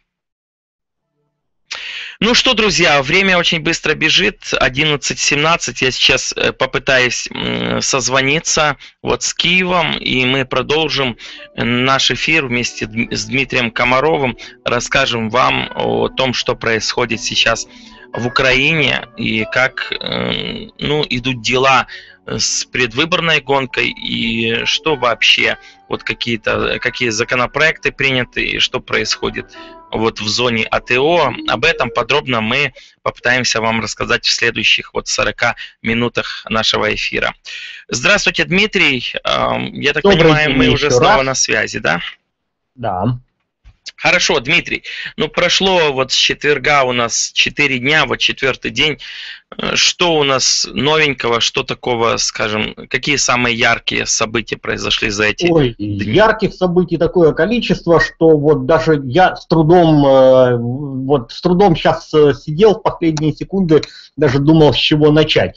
А, Ну, пожалуй, самое главное и самое определяющее э, то событие, которое у нас сейчас на данные минуты, даже буквально происходит, да, это то, что Петр Порошенко внес э, в Верховную Раду э, сразу два законопроекта. Значит, первый из них касается э, ратификации э, соглашения с ЕС, да, вот то самое соглашение с Европейским Союзом, которое было подписано. Эта ратификация сама по себе не дает, не дает возможности вступить этому соглашению немедленно. Э, То есть вокруг этого ломают да, такие очень ведутся жаркие споры, и я попробую объяснить, в чем дело. То есть э, по э, су- существующему соглашению с Европейским Союзом, и это некая уступка а, в сторону России. Да, Петр Порошенко ведет такую дипломатическую бор- борьбу, и И, похоже, он ее пока выигрывает. Значит, имплементация соглашения с, э, с Европейским Союзом э, произойдет, во-первых, синхронно, собственно говоря, э, Европейский Союз должен имплементировать это соглашение, и мы одновременно имплементируем. Но при этом э, не полностью соглашение вступит э, в силу сразу. Мы ни одного слова не меняем, мы, я имею в виду, Украина ни одного слова не меняет. В самом соглашении, на чем настаивала Россия, но при этом ряд положений а, этой, этого соглашения начнут выполняться только с 1 января э, 2016 года. То есть фактически год пройдет, прежде чем соглашение полностью вступит в силу. При этом я хочу подчеркнуть, какие именно э, положения вступят э, со следующего года. Это положение, когда товары из Европы будут не будут, точнее говоря, облагаться налогами, не будут на, облагаться таможенными пошлинами. При этом украинские товары уже с момента имплементации, уже с момента а, одобрения, принятия парламентом, сразу же не будут облагаться никакими налогами. О чем это говорит? Украина получает вообще благодаря Путину, благодаря России, за что им, конечно, низ- низкий поклон. Значит, Украина получает целый год такой ситуации, когда наши товары не, не, не облагаются никакими налогами, а европейские товары облагаются налогами.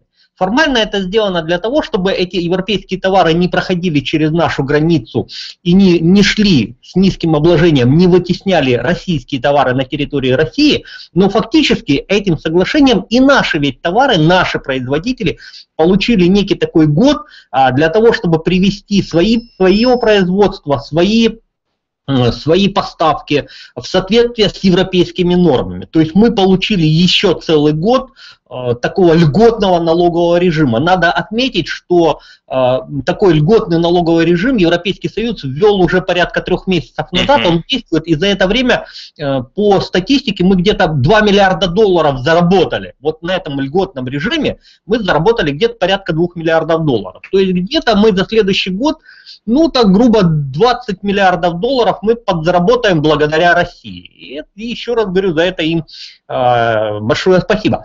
Споры ведутся э, вот именно вокруг того, что все-таки надо было сразу э, не, идти ни на какие уступки России, надо было сразу, чтобы мы, э, вот, ну такая шоковая терапия, чтобы сразу наше производство подгонялись под европейские нормы и так далее, и так далее. Но еще раз говорю, это дипломатия, это все-таки уступки, э, у нас война, мы должны какие-то э, позиции выторговывать. Э, И я считаю это таким очень неплохим вариантом. Второе, вторая новость, второй, второй закон, вокруг которого идут огромнейшие споры, и э, не факт, что он будет завтра принят. Э, Петр Порошенко, опять же в рамках договоренности с Россией о прекращении войны э, в Донбассе, внес в Верховную Раду законопроект, по которому предлагает установить э, в оккупированных Россиях районах Донбасса особый режим. Статус А, есть- или режим? Режим. Мгм. Ну, особый статус, особый режим, это одно слово неважно. Значит, это такой законопроект об амнистии и о специальном статусе отдельных районах Донбасса. То есть, вот, кстати говоря, то, что ты, тот вопрос, который ты задавал э, Петру Дуднику, да, он немножко некорректен. Этот статус, этот специальный статус будет присвоен только отдельным районам Донбасса, э, которые сейчас контролируются боевиками, то есть не всему Ну, Донбассу. да, я так и, так и, и объяснил. нет, нет, ну, то есть или вот я это- имел в виду, возможно, Да, да. этот статус не будет распространяться, скажем, на Славянск, где сейчас... Да, да, да, да, да. Значит, что, э, что по этому закону предусматривается? Первое. Особый статус будет действовать три года. То есть он имеет жесткую фиксированную дату. А, Второе. Все э, жители Донбасса, которые принимали участие в бо- боевых действиях, кроме тех, кто совершил особо тяжкие преступления, а также тех террористов, которые сбили Боинг, они получат полную амнистию. А, То есть они не будут преследоваться по закону, э, они получают полную амнистию. При этом а, все боевики обязаны сложить оружие и освободить те э, здания, которые ими были захвачены.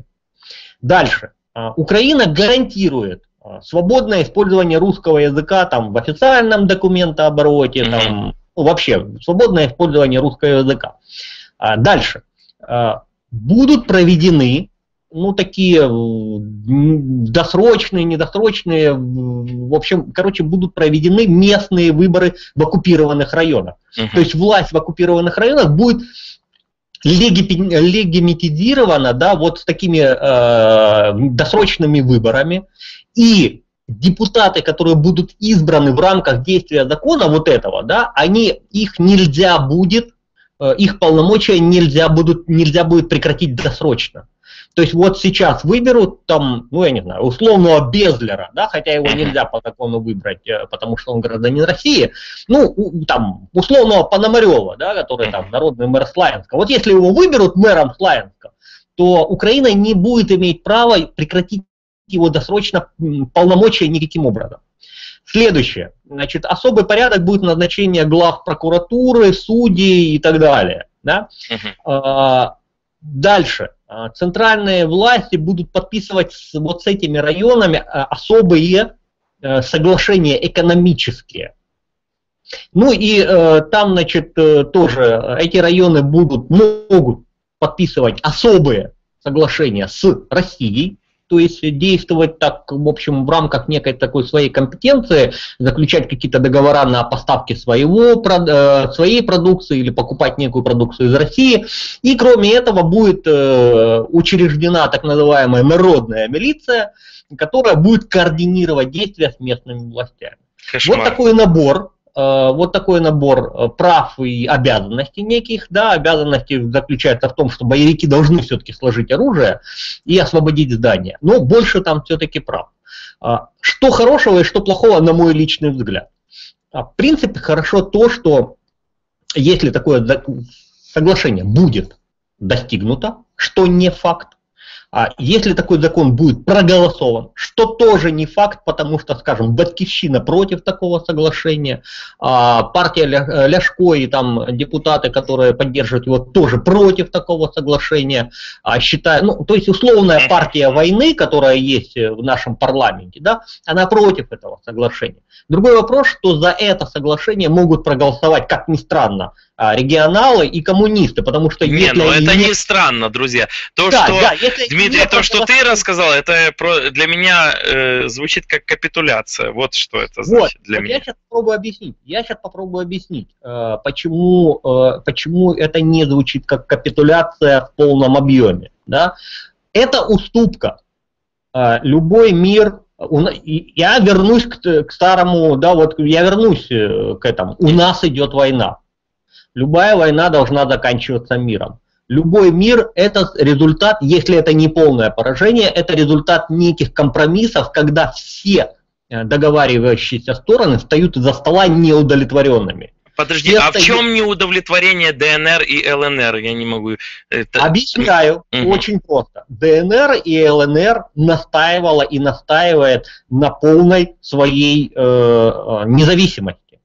А На том, что это отдельные государства, которые должны жить своей жизнью и иметь какие-то свои, э, ну, должны быть признаны международным сообществом и прочее, и прочее, и прочее. Ни о какой единой Украины да, не шло, вообще не, не шло ни, никакого разговора. Данным договором первое, подчеркивается э, то, что это особый статус территорий, которые находятся на, э, в, в составе Украины. Это первое. Второе. ДНР и ЛНР подчеркивала и подчеркивала и подчеркивает и хочет, чтобы этот статус как минимум или э, независимость распространялась как минимум на, терри- на все территории Донецкой и Луганской областей. Этим законом оговаривается, что статус распространяется только на те области, которые э, подконтрольны сейчас боевикам. И, э, ну, в общем, вот это существенная уступка, то есть это соглашение, если оно будет принято и украинским парламентом, что не факт, и боевиками ДНР и ЛНР, что тоже не факт, это соглашение, опять же, э, закрепит статус вот этих, даже вот этих районов, закрепит этот статус этих районов как территорий Украины. И это существенное поражение России, реальное поражение, которое видела Новороссию, видела эти республики, а, ну, во-первых, как минимум до Одесской области, а во-вторых, как независимое государство.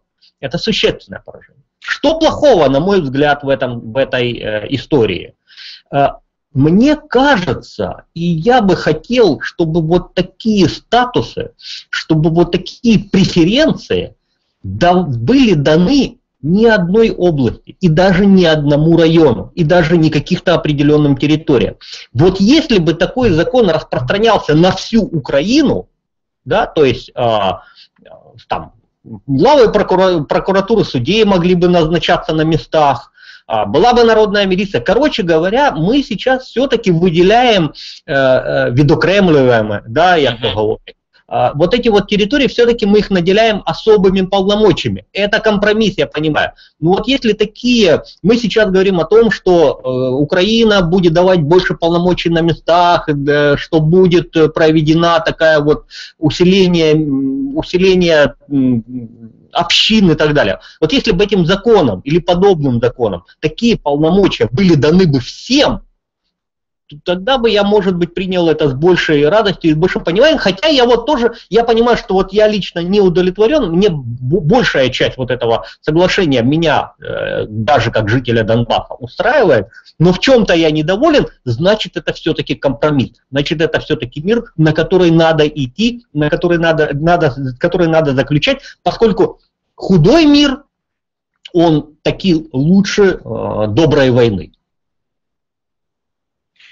Не, не знаю, я, я, я слышал, я, сл, я слышал просто реакцию Петра Дудника на это все. Вот. И мне кажется, она очень близка к реальности. Эм, ну, в каком плане? Ну, в таком плане, что по, под, под руковод... жить под руководством э, сепаратистов и террористов, которые, я так понимаю, большинство из них, они просто останутся на, на этих захваченных территориях, просто они получат вот преференции и возможность еще и пойти в большую политику и решать, э, если понимаете, э, силовые структуры, опять-таки, я так понимаю, э, с этим соглашением они будут э, формироваться теми же людьми, которые э, живут вот на оккупированных территориях. То есть вот эти все люди вооруженные, они, скажем так, технически на какое-то время отдадут, складут оружие или попрячут э, в подвалах, потом они получат особый и, э, статус, или не то, что особый статус, они получат мандат как полиции или милиции местной, снова возьмут это же оружие и теперь подви, под уже э, легитимно, э, имея легитимность своих, э, вот, своего положения, будут снова продолжать решать свои вопросы, как, как и решали. Да, да, да. Так и, это и же кошмар я, просто. Я, нет, я сейчас такую, в общем, немножко кощунственную вещь скажу, и такие это хорошо. Я попробую объяснить, почему. А, бой, ну, опять, у нас идет война.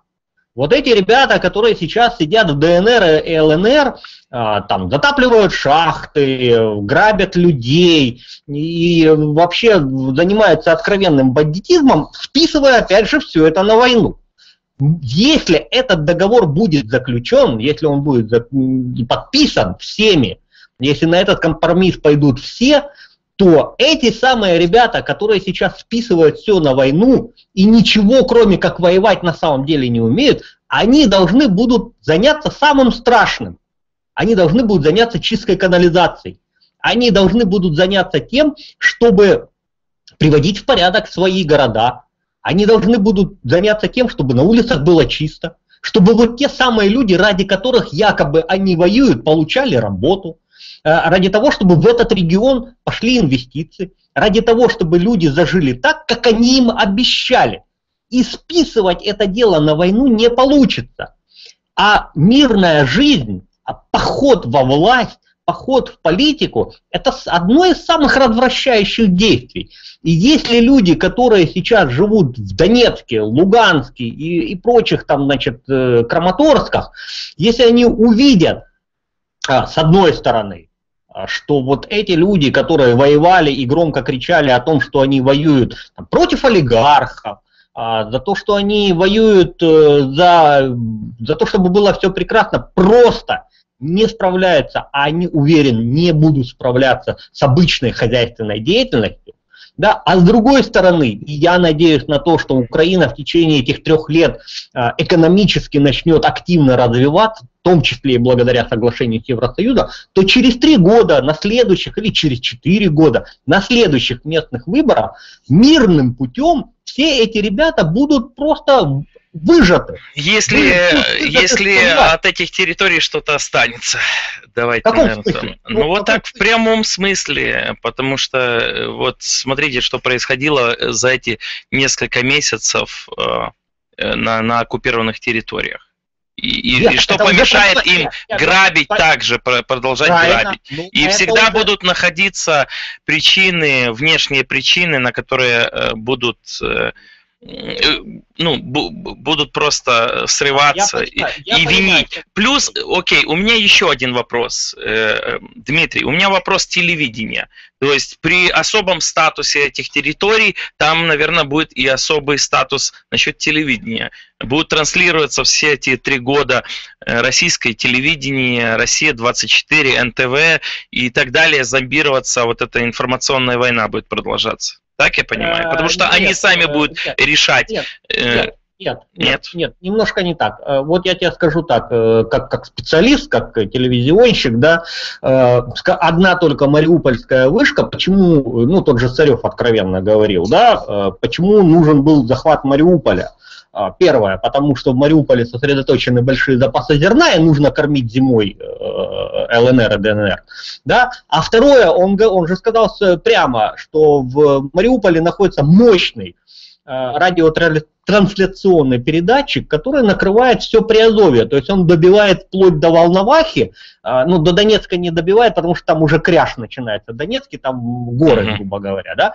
И э, то есть одна мариупольская вышка накрывает огромную площадь, транслируя, э, транслируя свои передачи. Если, грубо говоря, в Славянске а, поставить такую же вышку, она легко и просто накроет э, всю Донецкую область оставшуюся, и люди, которые будут жить в Донецке, э, могут сами спокойно выбирать, что они хотят смотреть. Вопрос телевидения, мне кажется, не самый актуальный, самый актуальный. Ну как это не самое актуальное? Это Ну, вот самое так. мощное и актуальное оружие, которое Мощное, без актуальное. и актуальное. Не нужно оружие, нужно только лгать три года, и Донецк или оккупированная территория станет Россией. Вот и Не, все. не, не, не, нет, нет. Когда тебя в условиях, э, я бы все-таки не преувеличивал.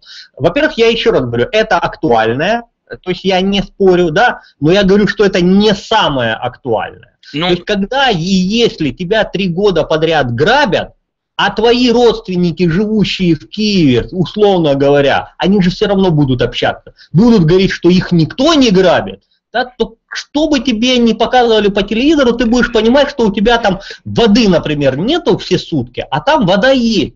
Ну, то есть все равно... Дмитрий, три я не соглашусь, потому что Украина до этого жила, как она живет, был совсем другой мир в центре и на западе.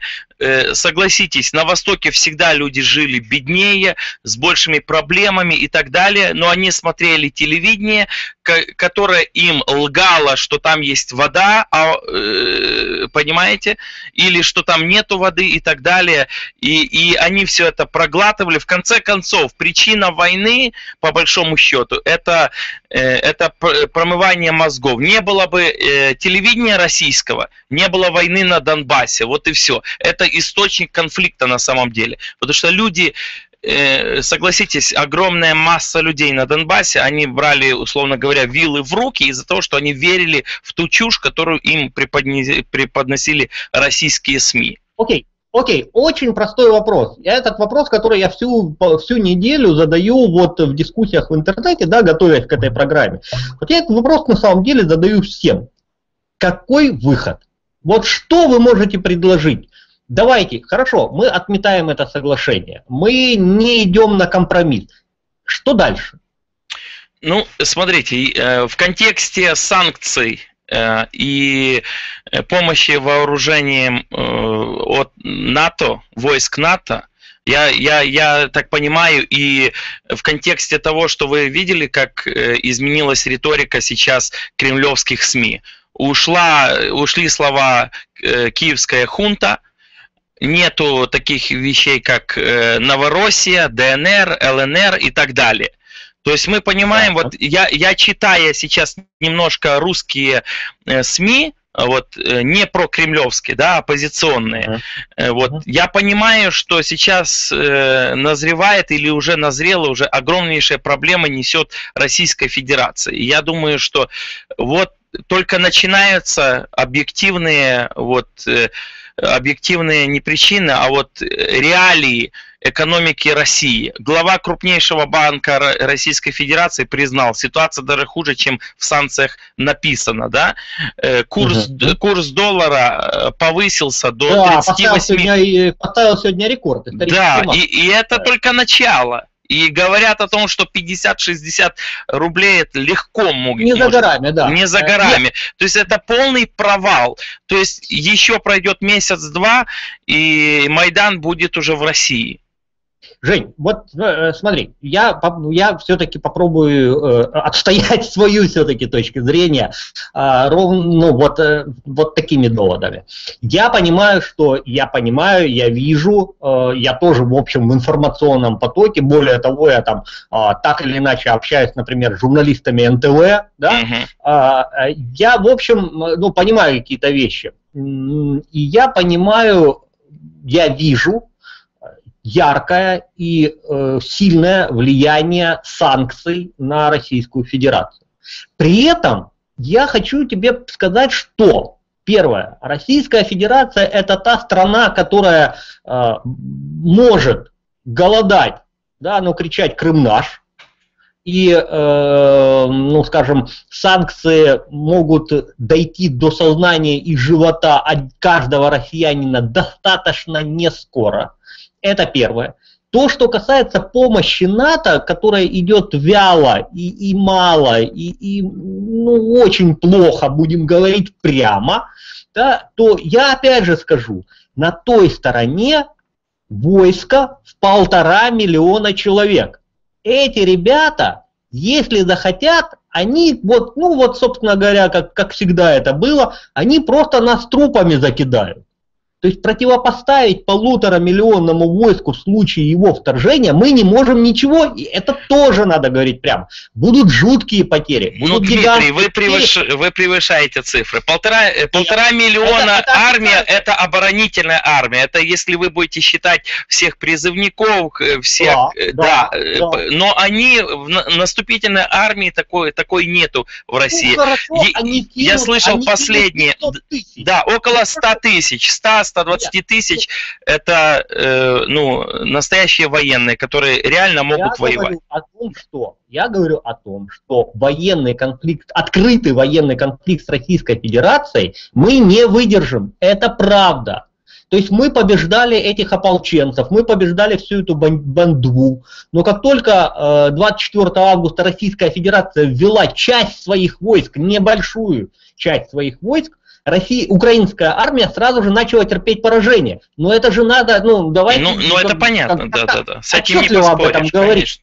Да? Тут, тут не надо с этим спорить. И если российская армия введет большую часть своих войск, мы потерпим поражение однозначно. Значит, учитывая всю, всю эту историю и возможность полного поражения в условиях прямого военного конфликта, мы должны каким-то образом избежать этого прямого военного конфликта. Избежать мы его можем только путем заключения мирного соглашения, а значит путем неких уступок. Я Еще понимаю, раз да. повторю, Российская Федерация идет на огромные уступки только тем, что она от, Она перестает- вообще не идет ни на какие уступки. Она Для нее идет, это выход не перестать воевать, потому что, насколько я понимаю, Путин сам уже не хочет воевать. И я не верю Путин в то, не что... Я очень мало верю в то, что он хочет открытый, открытую войну. Он этого не хочет, это невыгодно, это, это развал э, Российской Федерации, это э, точно. Для него нужна, нужна зацепка, как бы, чтобы как бы он уступил выйти ради кого-то, чтобы ну, э, н- не Согласен, было согласен. лицом в грязь, понимаете? Согласен, согласен, но мы же должны дать ему эту зацепку. Мы не можем переть буром, не давая никаких зацепок. Мы, если мы не дадим, ситуация ровно такая. Дмитрий, вы ведь не верите в то, что э, вот это решение Порошенко или уступка э, это удовлетворение для, для Российской Федерации. Типа они, они э, воевали, они э, свою армию ввели в военное положение ради того, чтобы э, Донецкая и Луганская часть территории стала и, и имела какой-то особый статус. Это, это, это ведь, ну... Неудовлетворение, Конечно. я согласен. Так я ровно про это и говорю, что заключение мира – это уступка со всех сторон. Это так, то, та ситуация, когда обе стороны из-за стола, или там все стороны состоят из-за стола переговоров неудовлетворенными. Я, как украинец, тоже чувствую себя неудовлетворенным. Российская Федерация чувствует себя архи неудовлетворенной. А уж как неудовлетворены эти все ребята из ЛНР, ДНР, вообще представить себе страшно. Поэтому Хорошо. Я, я понял. Я сомневаюсь, что это будет заключено, но если этот договор будет подписан, это самый, луч, самый лучший выход из ситуации на данный текущий момент. Окей, ну подождем. У нас есть несколько дней э, и по посмотрим, к чему это все приведет. Э, давай немножко поговорим о, то, о коммунистической партии. Вот Центральная избирательная комиссия зарегистрировала коммунистическую партию на внеочередные выборы депутатов Верховной Рады. Соответствующее решение было принято на заседании ЦИКа, передает украинские новости.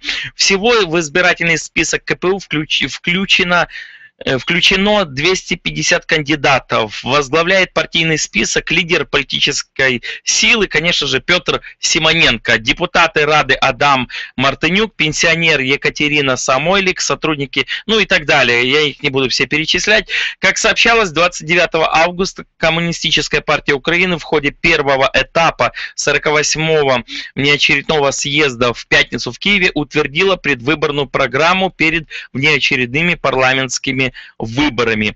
А вот как вы смотрите, э, вот две партии, Коммунистическая партия Украины, партия регионов, я так понимаю, она рассыпается, не идет, но те люди, которые были в партии регионов или лица, первые лица ее, они организовали там какую-то что-то новое. Блок.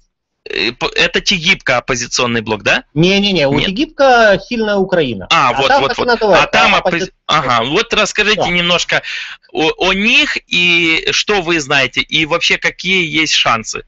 Да, какие расклады? Давайте я начну с общих раскладов, и мы сразу поймем, э, о чем идет речь. Значит, по буквально по сегодняшним, э, по сегодняшнему опросу, э, значит, э, значит, из тех, кто придут на выборы, да, а таких уже на данный момент 50, почти 50 процентов, а, и 30 еще скорее всего придут на выборы, я думаю, что явка будет э, достаточно высокая, да, я так думаю, что где-то, ну, 20 процентов не придет на выборы, то есть где-то мы процентов 80, а это архивысокая явка, мы наберем на этих парламентских выборах. Так вот, из тех 50, которые уже точно придут, за блок Петра Порошенко. Собирается голосовать 27, э, ну я сейчас округляю, да, но 27% опрошенных. За радикальную партию Ляшка 8%. За гражданскую позицию это у нас Гриценко, да, э, почти 5%. За Батькивщину тоже там почти 5, но гражданская позиция 4,8, Батькивщина 4,7. Народный фронт это у нас э, Яценюк, Турчинов и там и, и компания, да? Uh-huh. Значит, там 3,3%. Сильная Украина, Тигибка 2,8, Свобода 2,6, и вот это самое КПУ 2%. Да, ну и там дальше идет самопомощь 1,3 и партия регионов 1,2%. Э, значит, я это все к чему? Ну, во-первых, все эти расклады э, поменяются. Э, скорее всего, блок Петра Порошенко будет терять свои проценты. Буквально потому, что опрос сегодняшний, в списке вы, ну, вывесены, доведены были до общественности буквально тоже сегодня, окончательные списки. И вот эти самые окончательные списки очень сильно вывели из себя многих, большую часть общественности, списки Петра Порошенко в первую очередь. Дело в том, что по а этим спискам, да, вот дело в том, что по этим спискам э, от э, Петра Порошенко э, будут идти, во-первых, сын Петра Порошенко, э, и во-вторых, его отец. Кроме того, э, значит, по его же списку, э, я, я сейчас не помню точно по списку или по, по мажоритарке, но, в общем, привязкой к Петру Порошенко будут идти аж 4 баллоги или балоги там, ну, там как закарпатские называют. мгм. Да, это тоже еще, еще те клоуны. Вот, в общем, вот эти лица, а, особенно, значит, новая, э, новая семья, да, в политике, хотя, хотя, нет, ну хотя отец Порошенко, он всегда, значит, э, активно принимал участие в политической деятельности. Ну, Более сын, он ведь тоже депутатом был, нет? Нет. Не нет, был он? сын это, ну, нет, это у, Я- у Януковича два сына, да, были. И вот эт- этот факт сейчас возмутил многих. И сейчас блок Порошенко, я думаю, что к следующей буквально неделе потеряет ну, довольно серьезную, довольно серьезное количество голосов.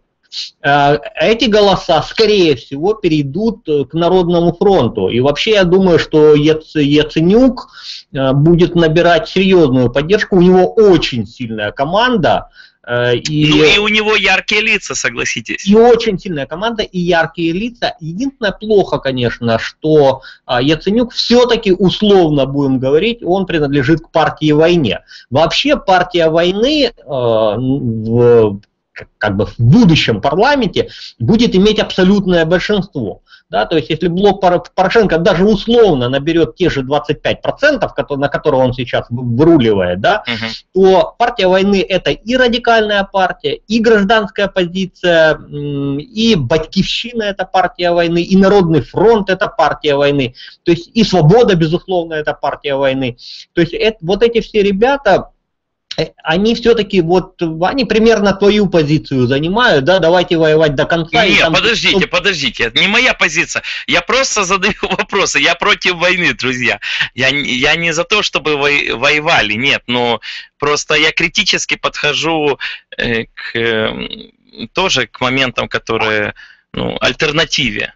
Потому что не, Понятно. не всегда к- кажущаяся, кажущаяся альтернатива мирной, она есть таковой, понимаете? Потому что смотря на вот, на вот, те, э, на вот те тенденции, которые происходят э, в- при наличии ДНРовцев на территории, для меня война, мне кажется, она там неизбежна. Просто это не будет АТО, но люди будут гибнуть, и люди такие, как Дудник и прочие, они просто не будут иметь возможность жить на той территории. Они будут вынуждены эвакуироваться, потому что их просто грохнут.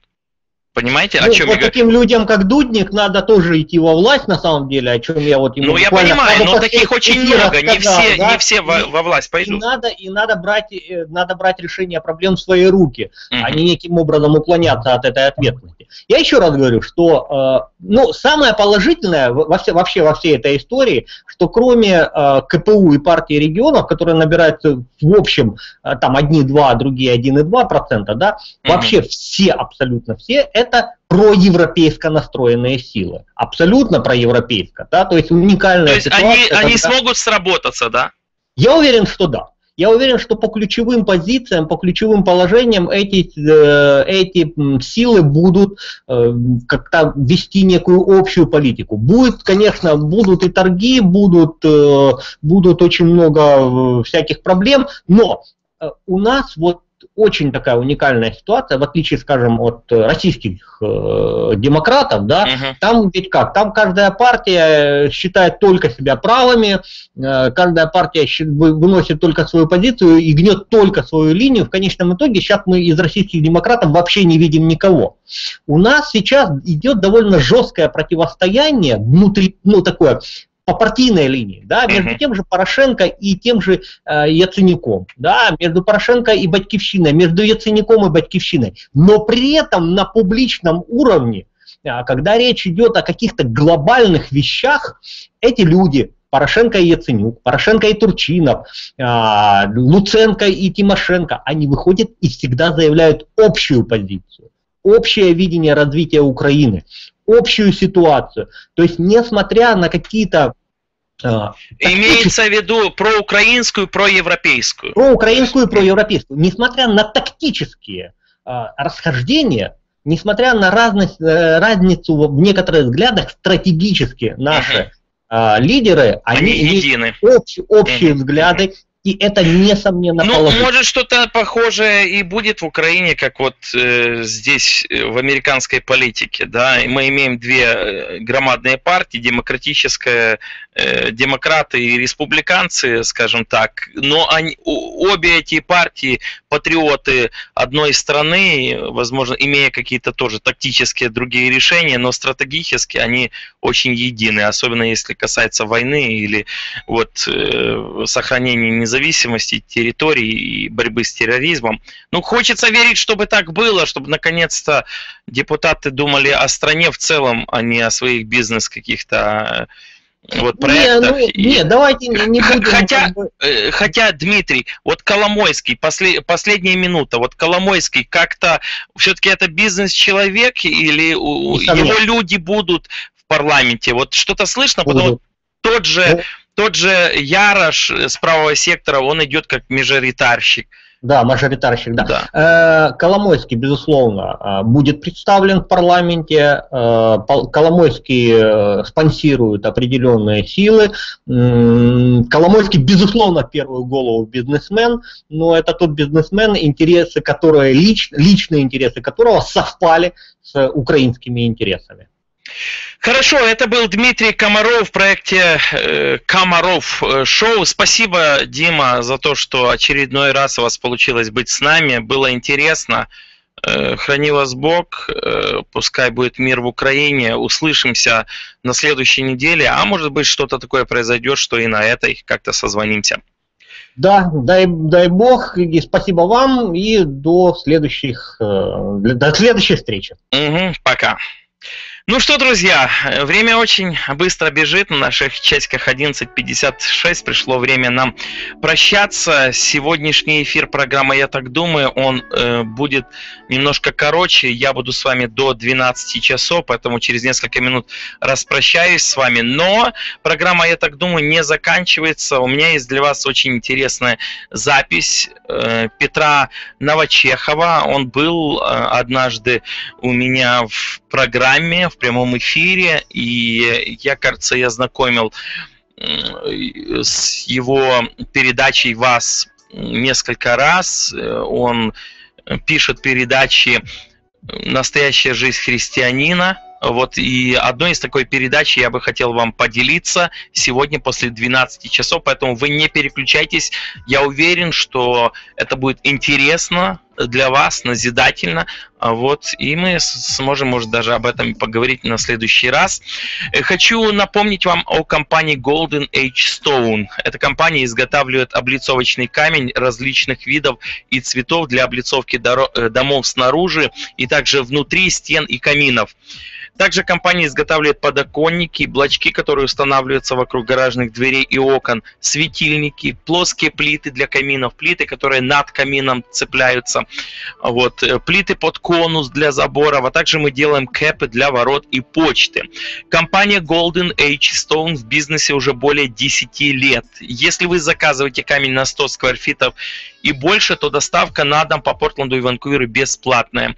Звоните по телефону 360 521 08 18. 360 521 08 18. Компания Golden Age Stone. Ну а если вам нужно э, по- положить вот камень, установить его, звоните по телефону 503 334 73 27. Звоните Петру, профессионалы э, очень быстро, качественно, красиво э, установят вам камень внутри дома или снаружи. 503 334 7327. 503 334 7327. Если вы думаете вот как-то приукрасить свой дом, вот хочется какой-то ремонт сделать и какую-то э, композицию из камня сделать, это как раз для вас э, большая возможность э, вот сделать недорого и очень красиво и качественно. Компания Golden Age Stone и также Петр по установке камня. Хорошо, друзья, еще напомню вам о компании э, Сайберони. Компания Сайберони изготавливает пельмени и вареники вы- высокого качества, приобрести которые вы можете в русских магазинах нашего города и не только нашего. Пельмени компании Сайберони продаются и в других штатах и городах, включая восточное побережье Соединенных Штатов. Заходите в магазины и спрашивайте, где самые вкусные пельмени от компании Сайберони. Зачем вам мучиться лепить, ведь можно дешево купить. Компания Сайберони 503 853 11 76. Вы можете купить оптом ящиками, если у вас большая семья.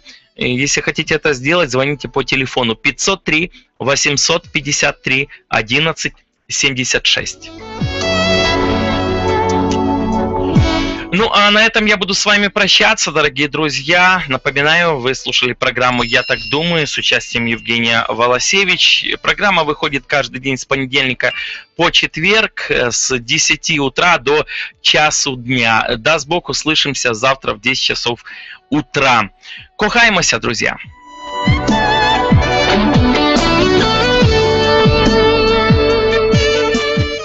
Уважаемые радиослушатели, напоминаем вам, что редакция Русского радио 7 не несет ответственности за содержание рекламных роликов и программ, которые звучат в эфире. Радио 7, 10, 10 АМ.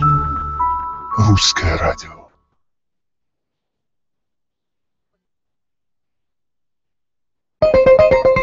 Рабочие травмы, падения и автоаварии всегда имеют последствия. Это головные боли, боли в спине и шее, и их нельзя оставлять без внимания докторов. Графио.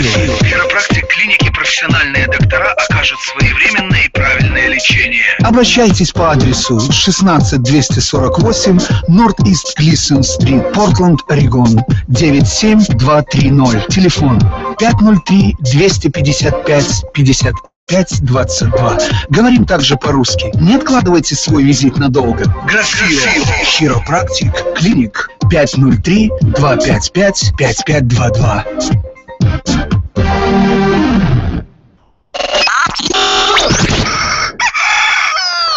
Каждую пятницу с 8 утра слушайте информационно-музыкальную программу «Бодрячок» на русском радио 7 с Соломоном. Слава Christian Academy проводит набор учеников на новый учебный год с пескового до восьмого класса. Школу с углубленным изучением русского и английского языков. Как важно иметь всестороннее развитие, добрую атмосферу, понимание учителей и солидарность родителей. Школьный автобус довезет вас от дома до школы. Я люблю мою школу и советую вам окунуться в мир знания Славянской христианской академии. Мы находимся в Ванкувере, Портленде и Грешине. Родители звоните 360-609-3048 или пишите savicacademy. Шашлычница для ленивых. Что ты сказал? Да-да, шашлычница для ленивых. Шампура сами переворачиваются и жарят кусочки мяса сами. Шашлычок в 10 раз сочнее и мягче, никогда не подгорает, а вы этим временем играете в футбол или загораете на солнышке. Звоните 503 750 96 63 503 750 96 63 Зачем ехать в Россию или Мексику для лечения зубов? Access Dental побьет любые цены. Пломбы от 60 долларов, удаление от 70 долларов, коронка 480 долларов и так далее. Приходите, убедитесь сами. 360 852 23 04. Спросите Стефана. 360 852 23 04. Access Dental. Вы еще не знаете, что уже нас любите. Радио 7. Уважаемые радиослушатели, Радио 7 не несет ответственности за содержание рекламных роликов и передач, которые звучат в эфире.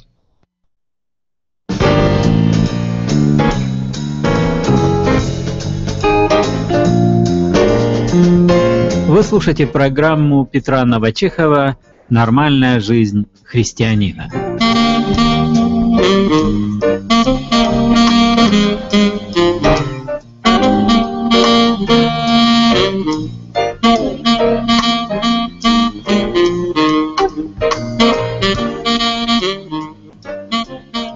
Как в каждой капле отражается океан, так и в каждом событии нашей повседневности отражается вечность. Задача этой программы – прикоснуться к вечности, увидеть ее, разглядеть в повседневности, в обыденности.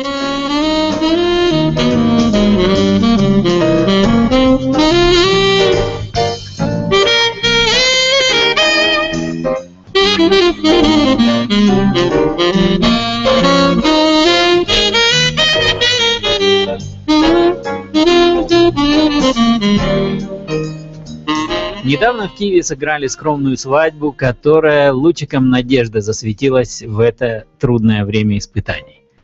Сотрудник Киевского управления госслужбы по чрезвычайным ситуациям Леонид Быстрицкий женился на молодой женщине из Луганска, Виктории.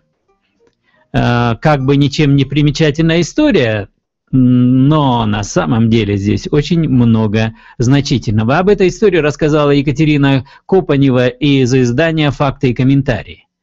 Особенность истории этой заключается в том, что Виктория была беженкой, вместе с двухлетним сыном Сашей спасалась от освободителей, так называемых, из ЛНР. Леонид впервые увидел ее плачущей на скамейке вокзала и понял, что не может пройти мимо этой плачущей женщины, которая сразу вызвала у него симпатии. Я нерешительно топтался на месте, думая, что ей ответить. Во-первых, действительно было поздновато, во-вторых, не мог же я так просто ее отпустить, молодая, беззащитная, города не знает, куда она пойдет. «Послушайте, у меня есть идея», — решился я предложить. «Сейчас уже поздно, и вы вряд ли найдете себе жилье. Почему бы вам не остановиться на ночь у меня?» «У вас?» Как это, удивилась незнакомка, и он понял, что вообще-то предложение прозвучало довольно-таки двусмысленно. «Умоляю, только не бойтесь», — стал он убеждать ее в том. «Я просто хочу помочь, не спать же вашему ребенку на вокзале, а утром пойдете в центр занятости, я вас проинструктирую». «Даже не знаю», — растерялась Виктория, — «неудобно как-то, зачем вам такая обуза?» «Да перестаньте, настаивал Леонид. Посмотрите на ребенка, он вот-вот уснет. Поехали. Ну и та согласилась. Наверное, это выглядело э, совершенным безумием, рассказывала Виктория потом, потому что, представьте себе, подходит на вокзале абсолютно незнакомый человек, предлагает поехать к нему домой, и я соглашаюсь. Но Леня тем своим видом почему-то внушал доверие. Наверное, сыграло роль и то, что он был в форме. Это подкупало. Ну и потом у меня был телефон, всегда можно позвонить. 102, э, это телефон милиции. Почему-то решила, что Леня человек семейный и боялась, что его жене все это не понравится. Но оказалось, он жил один в служебной квартире, Извиняясь за беспорядок, э, тут же он засуетился, разложил диван, приготовил ужин. Эм, Сашенька, это ее сын, лишних вопросов не задавал, оказавшись на диване, сразу уснул. А мы с Леней, говорит она, полночи сидели и разговаривали. Я рассказывала обо всем, что нам пришлось пережить в Луганске, и, как ни странно, чувствовала облегчение. Наверное, мне надо было кому-то излить душу. А Леня так внимательно слушал, после чего взял листок бумаги и написал мне подробный инструктаж, что и когда я должна делать. Стать на учет в центр занятости, зарегистрироваться как беженка. «Я бы хотел пойти с тобой, но мне завтра с утра на работу», — сказал он, извиняясь. «Но ты, если что, звони, если нужно будет, я отпрошусь, приеду». От переполнявшего меня чувства благодарности я чуть не расплакалась. Так, рассказывает Виктория. Но, как и положено рождественским историям, история знакомства беженки из Луганска и парня из Киева закончилась хэппи-эндом, они влюбились друг в друга и поженились. Да, это сюжет, достойный голливудского сериала. Почему бы нет? Может быть, украинцы сделают такой фильм к Рождеству. Но в этой истории, на что я хотел обратить внимание, помимо того, что это светлый лучик в этот период, тяжелый период испытаний, выпавших на долю украинского народа, в этой истории очень хорошо проявилась такая черта мужского характера, которая делает мужчин мужчинами, делает их привлекательными, но правда э, со временем начинает женщин раздражать почему-то. И это важная черта мужского характера, это стремление тут же решить проблему. Стремление защитить слабого, помочь тому, кто попал в беду, увидеть проблему и найти решение. Э, любопытный эпизод этой встречи. Обратили ли вы внимание, Внимательно выслушав Вику, Леонид тут же составил для нее список, написал инструктаж, куда пойти, когда и что делать. Это классическая мужская реакция на ситуацию проблемы. Э, кто-то сравнил мужской ум э, или мужское поведение с поведением охотничьей собаки. Как только она чует дичь, она тут же устремляется к ней, пока не схватит, не остановится так и мужской ум устроен. Когда он чует проблему, он тут же стремится в погоню и пытается настигнуть проблему и найти пути ее решения. Классическая мужская реакция. Мужчины, похоже, так и были задуманы Богом, как существа, решающие проблемы. А, к сожалению, многие женщины упускают из виду эту особенность мужской натуры. И они начинают ожидать от своих мужей то, для чего те просто не были созданы.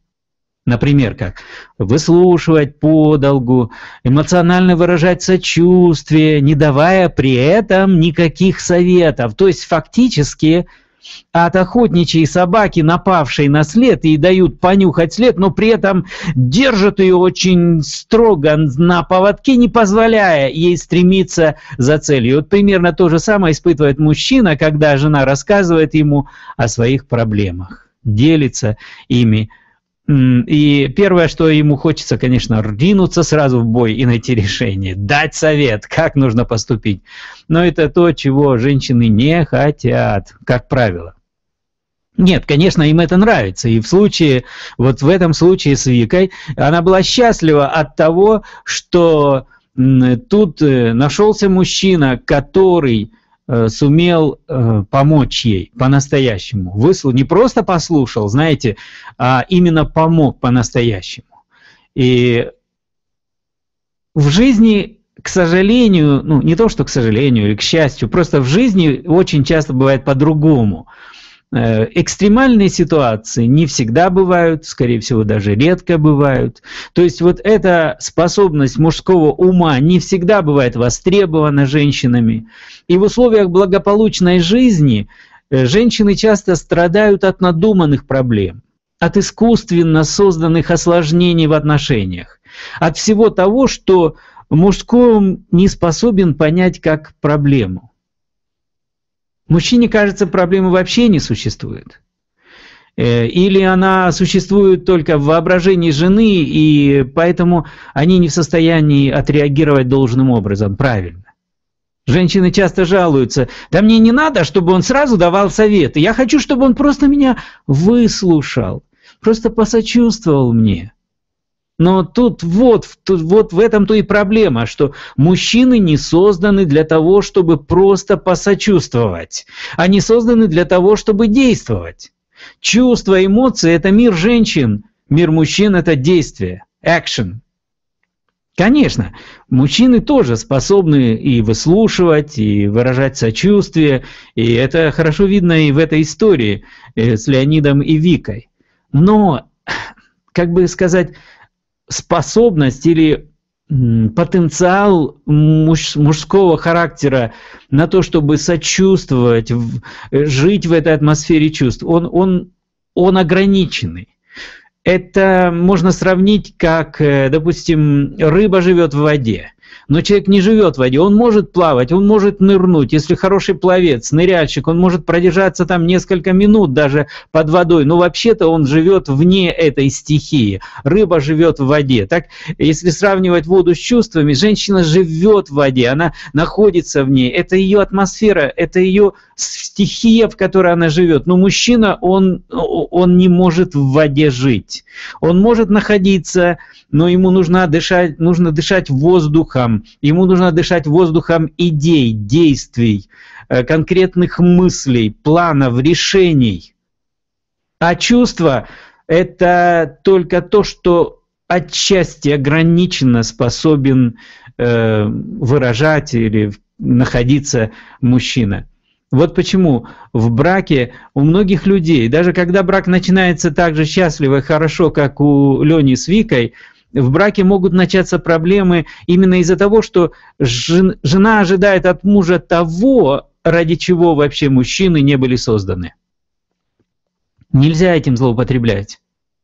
Момент первой встречи, серьезность проблемы настроили тогда Леонида на внимательный лад. Он мог полночи слушать Вику, тем более, что он влюбился в нее, похоже, с первого взгляда. А когда человек влюблен, он, он, он в общем-то, очень старается, особенно первое время, но опять же, у него есть определенный ресурс, определенный потенциал, и если слишком быстро исчерпать его, то наступает момент, когда мужчина просто не в состоянии продолжать жить в этой атмосфере, в стихии чувств. Итак, он понял, есть реальная проблема, вот она. Одинокая женщина с ребенком потеряла дом, работу, близких, не знает, где жить. Он готов ее слушать хоть всю ночь. Для чего? И для того, чтобы помочь ей. Для того, чтобы можно было конкретно понять, что нужно сделать для нее. Но у меня есть опасение, что если Вика в будущем будет снова и снова ожидать от Леонида внимательного выслушивания всех ее ощущений и эмоций, у них вскоре начнутся серьезные проблемы. Ну нельзя охотничью собаку все время держать на привязи. Если дать ей понюхать след дичи, нужно позволить ей устремиться туда. Ну нельзя мужчин все время держать на привязи, не позволяя им действовать, давая им только возможность выражать чувства, сочувствие, понимание. Не для этого мужчины были созданы. И в том числе даже если хри... мужчина становится христианином и переживает и присутствие Божьего Духа, и становится во всех отношениях, в общем, прекрасным человеком, даже в этом случае его природа не меняется, он по-прежнему создан для решения проблем.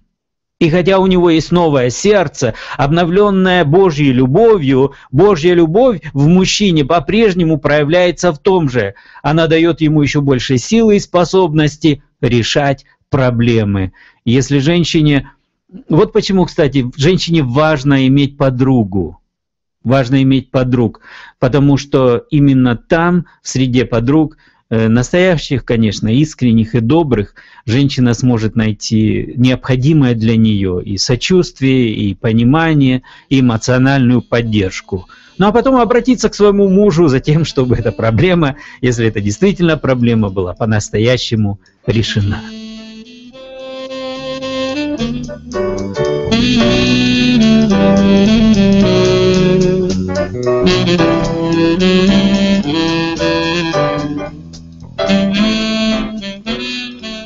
Вы слушаете программу «Нормальная жизнь христианина». У микрофона Петр Новочехов.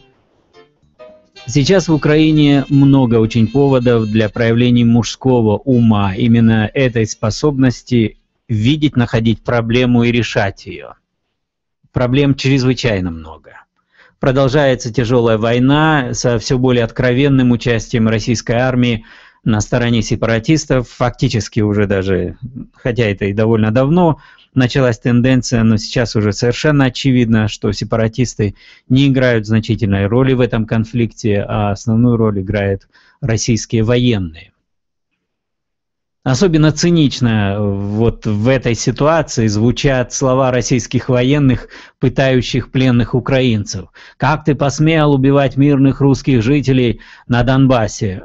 Потому что довольно часто эти слова произносятся с тяжелым кавказским акцентом. Э, кажется, Сталин говорил о себе «Я человек русской культуры» много таких человеков в русской культуре сейчас выжигают огнем донбасские поселки и городские кварталы. Трудно сдерживать эту орду. Зарождаются сомнения, стоит ли вообще воевать с ними, рисковать своими жизнями, защищать землю, э, жители которой особо и не испытывают благодарности за то, что кто-то отдает свои жизни за них. Ну и плюс еще бездарное руководство украинской армии, отсутствие политической воли к очищению украинской власти. Ведь до сих пор никто из высокопоставленных разжигателей войны так и не привлечен к ответственности, хотя и на украинской стороне таких людей достаточно. Некоторые из них даже сейчас снова пытаются, претендуют на то, чтобы быть избранными в новый украинский парламент. И в этом случае, как и обычно, надежда на людей подводит. Если украинские воины сражаются только за людей, они будут глубоко, жестоко разочарованы. Люди не помнят вечно. Слава человеческая, как трава, говорит Библия. Пройдет какое-то совсем небольшое время, и все это исчезнет, забудется. Громкие слова забудутся. Даже уже внуки забудут тропинку к твоей могиле. Ты смелый, самопожертвенный солдат, проливающий свою кровь, но вот в чем досада, не будут помнить тебя вечно. Очень скоро забудут. Ну, может быть, там на каких-то великих мероприятиях. И то, это будет все в общем, не конкретно. Надежда на людей обманывает нас, не оправдывается. И самое досадное, как, как Экклесиаст говорил, что самое досадное, что даже твоими усилиями, как бы твоими плодами будут пользоваться другие. И люди, принесшие себя в жертву, на самом деле не воспользуются, даже их близкие плодами их жертв. Скорее всего, это будут э, довольно часто недостойные люди, негодные люди. Ради чего тогда сражаться? Стоит ли так жертвовать? Это серьезный вопрос. Конечно, многие люди просто вынуждены это делать, но я думаю, все равно это принципиально важно э, верить и понимать, куда ты идешь, на что ты идешь, ради чего ты все это делаешь. Совсем недавно э, кто-то поместил такую зарисовку с натуры. Женщина, христианка, ехала в поезде, в электричке, и там было два солдата, молодых украинских солдата, похоже, возвращающихся Э, снова на фронт, и они громко разговаривали, и видно было, они ведут себя как бы вызывающе, пытаясь привлечь внимание к себе. «Эй, народ, да посмотрите на нас, мы едем э, в зону смерти, и, скорее всего, мы оттуда уже не вернемся. Вообще вам есть какое-нибудь дело до того, что есть люди, отдающие свои жизни для того, чтобы вы могли спокойно и мирно жить?» они громко разговаривали э, и шумели. Э, и она поняла, она рассказывает, я поняла, что нужно хотя бы какое-то действительно внимание оказать им. И э, она набралась смелости, встала и громко на весь вагон обратилась к людям – друзья, здесь рядом вот молодые ребята, которые рискуют собой и своими жизнями для того, чтобы мы могли продолжать мирно жить. Давайте выразим нашу любовь и благодарность им. И народ э, зааплодировал ребятам, их стали благодарить, и э, у кого-то навернулись слезы, да и у самих ребят как-то все изменилось сразу, их лица, это напускная, знаете, такая э, ну, напускное это все ушло. И, и, и это нужно людям, это нужно солдатам. То, что э, мы понимаем, что их жертвы не напрасны, что они, они действительно очень многое делают для людей, живущих мирной жизнью. А для солдат это чрезвычайно важно осознавать, но этого мало. Только этого все же недостаточно. Потому что нужно что-то большее, что имеет э, вечный характер. Знаете, нужно увидеть вечность в этих событиях, понять, а, а какую роль а, моя жизнь, какое место ее а, в свете вечности. И здесь чрезвычайно, эм, чрезвычайно необходимо нам Божье Слово. Вот что Библия говорит о солдатах, тех, которые сражаются за Божий народ, за людей по воле Божьей. Так было, например, во времена царя Давида над Израилем, когда нависла угроза со стороны полчищ Востока, то военачальник Давида Иоав сказал перед битвой полководцу Овесе, Будь мужествен и будем стоять твердо за народ наш и за города Бога нашего, а Господь сделает, что ему угодно. Это вторая книга царств, 10 глава, 12 стих. Я хотел обратить внимание, ключевое здесь не просто будем стоять за народ наш, за семью нашу, как обычно люди говорят, я сражаюсь там за, за друзей своих. Это, безусловно, важно. Но важно, чтобы еще было что-то вечное за города Бога нашего, за народ Бога нашего, за имя Бога нашего. Э, опять же, это не то, что святая священная война. Нет.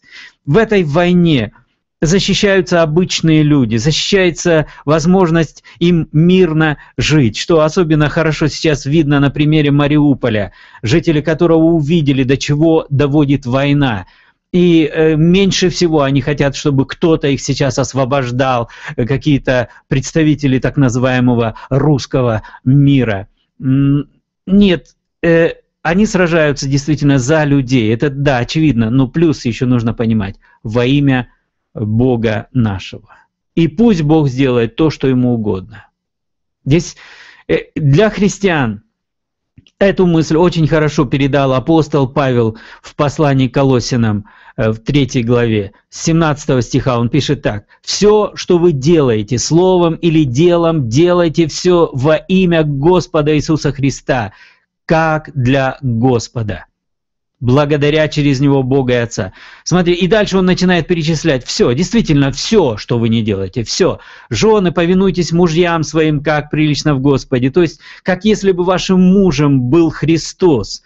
Э, женщина, христианка, относитесь к нему так. Э, мужья, любите своих жен и не будьте к ним суровы мужчины, братья, как если бы ваша жена была воплощением, женским воплощением Иисуса Христа. Относитесь к ней так. Любите ее так, как любите Христа. Дети, будьте послушны родителям вашим во всем, ибо, ибо это благоугодно Господу.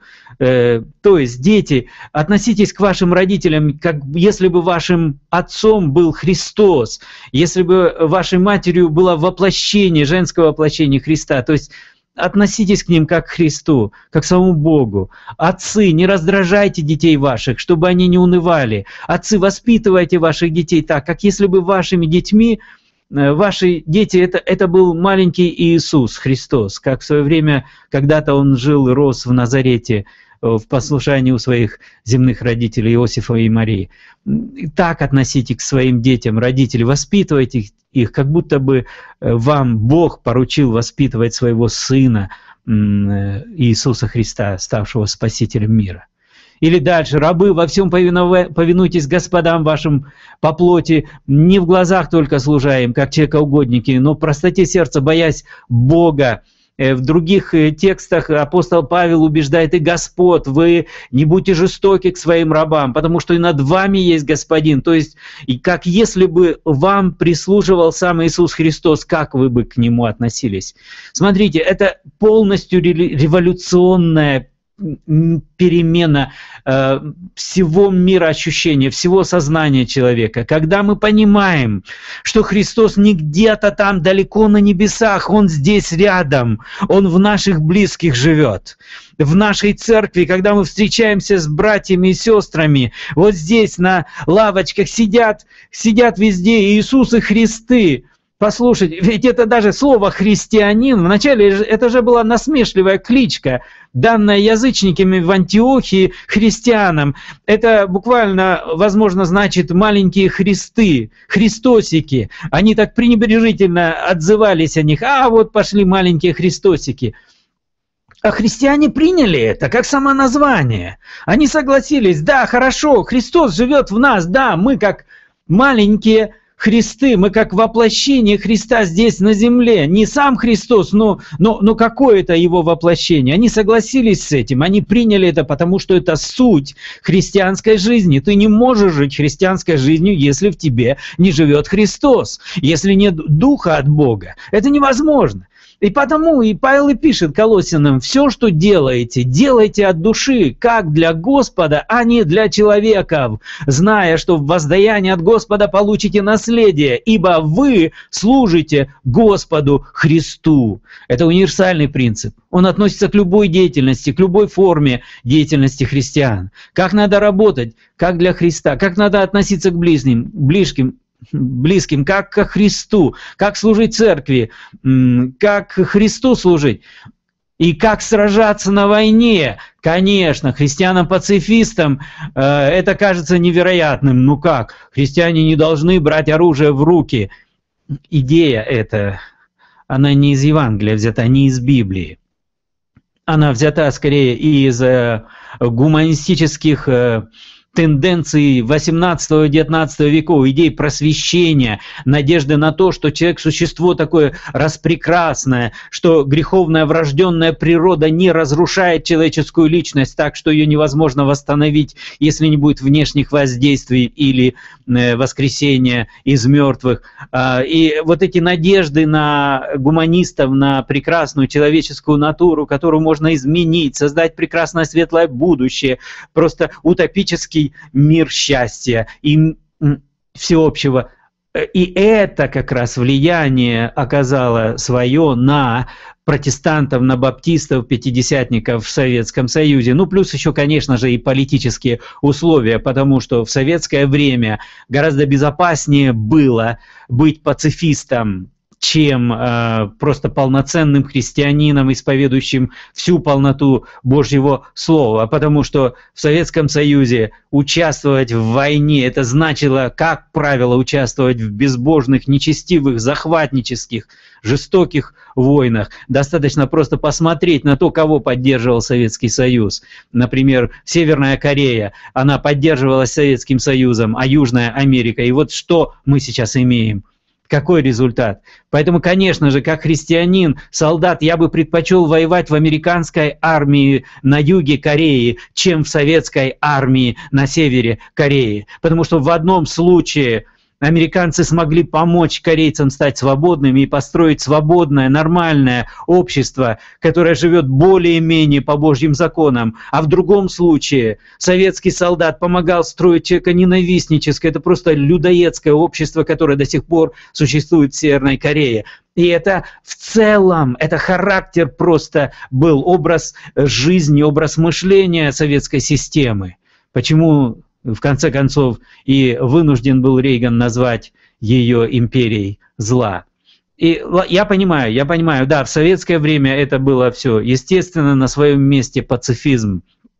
Он избавлял нас от необходимости участвовать в нечестивых, в злобных действиях империи зла. Но сейчас, когда украинцы сражаются за свободу и защищают свой народ, помогают людям Э, спасают их от беды. В этом случае, конечно же, э, пацифизм тем сильнее обнаруживает свою, свою природу, которая укоренена не в Божьем Слове, а в гуманистическом мировоззрении, в надеждах на то, что люди все братья. Увы, к сожалению, не во всех есть вера, говорит апостол Павел тот же самый. И он же и говорит, что не напрасно представители власти носят меч. Не напрасно это значит для чего? Чтобы употребить этот меч, когда надо. А когда надо его употреблять? Да вот сейчас на востоке Украины нужно употребить меч, чтобы восстановить мир чтобы позволить людям нормально жить. Сейчас жители Мариуполя окапываются и пытаются сохранить мир в своем городе. Кто самый лучший помощник для них сейчас? Не те, э, которые разглагольствуют о мире, а те, которые носят меч, начальник, Божий слуга, представитель власти, носящий меч по воле Божией, чтобы наказывать делающих злое и защищать делающих доброе. Сражаться нужно как за Христа, и это наиболее э, недостающий элемент сейчас, особенно если учитывать, что мы все выходцы из советского прошлого, и на нас по-прежнему это все влияет еще. И украинскому солдату очень важно понимать, что он сражается за Христа. Не в том смысле, что он ведет священную войну и обращает этих неверных к Богу. Нет, он защищает людей по воле Божьей. Понятно, что Христос не нуждается в оружии, чтобы защищать его. Но точно так Христос не нуждается и в деньгах. И тем не менее мы работаем как для Господа, зарабатывая деньги, чтобы обеспечить свою семью. Когда в 1938 году Гитлер потребовал Чехию, то швейцарский немецкий богослов Карл Барт написал «Каждый чешский солдат, сражающийся и страдающий, делает это и ради нас.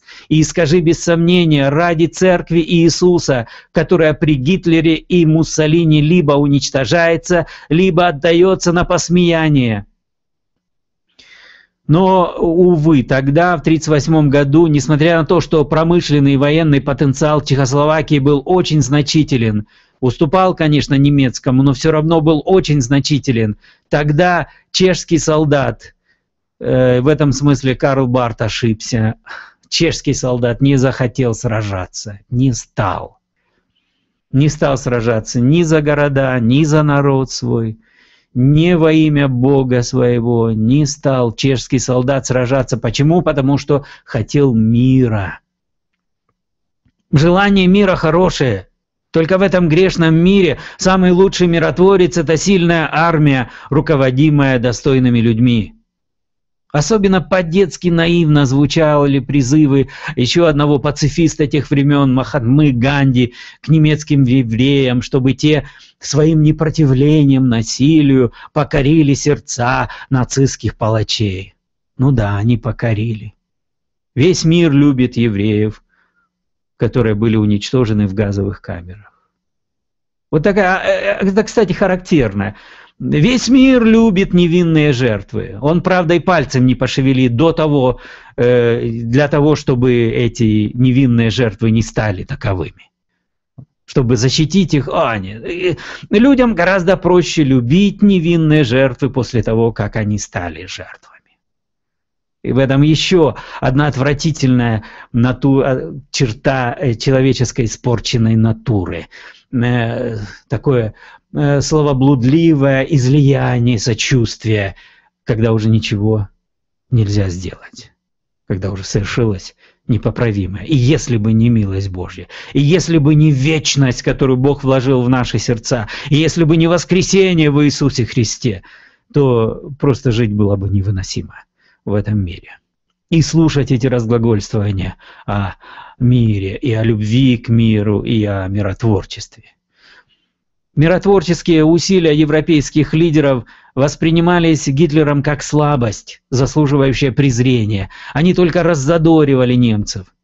Любопытно, что это очевидно нам. Мы все это видим перед своими глазами, начиная со школьной скамьи.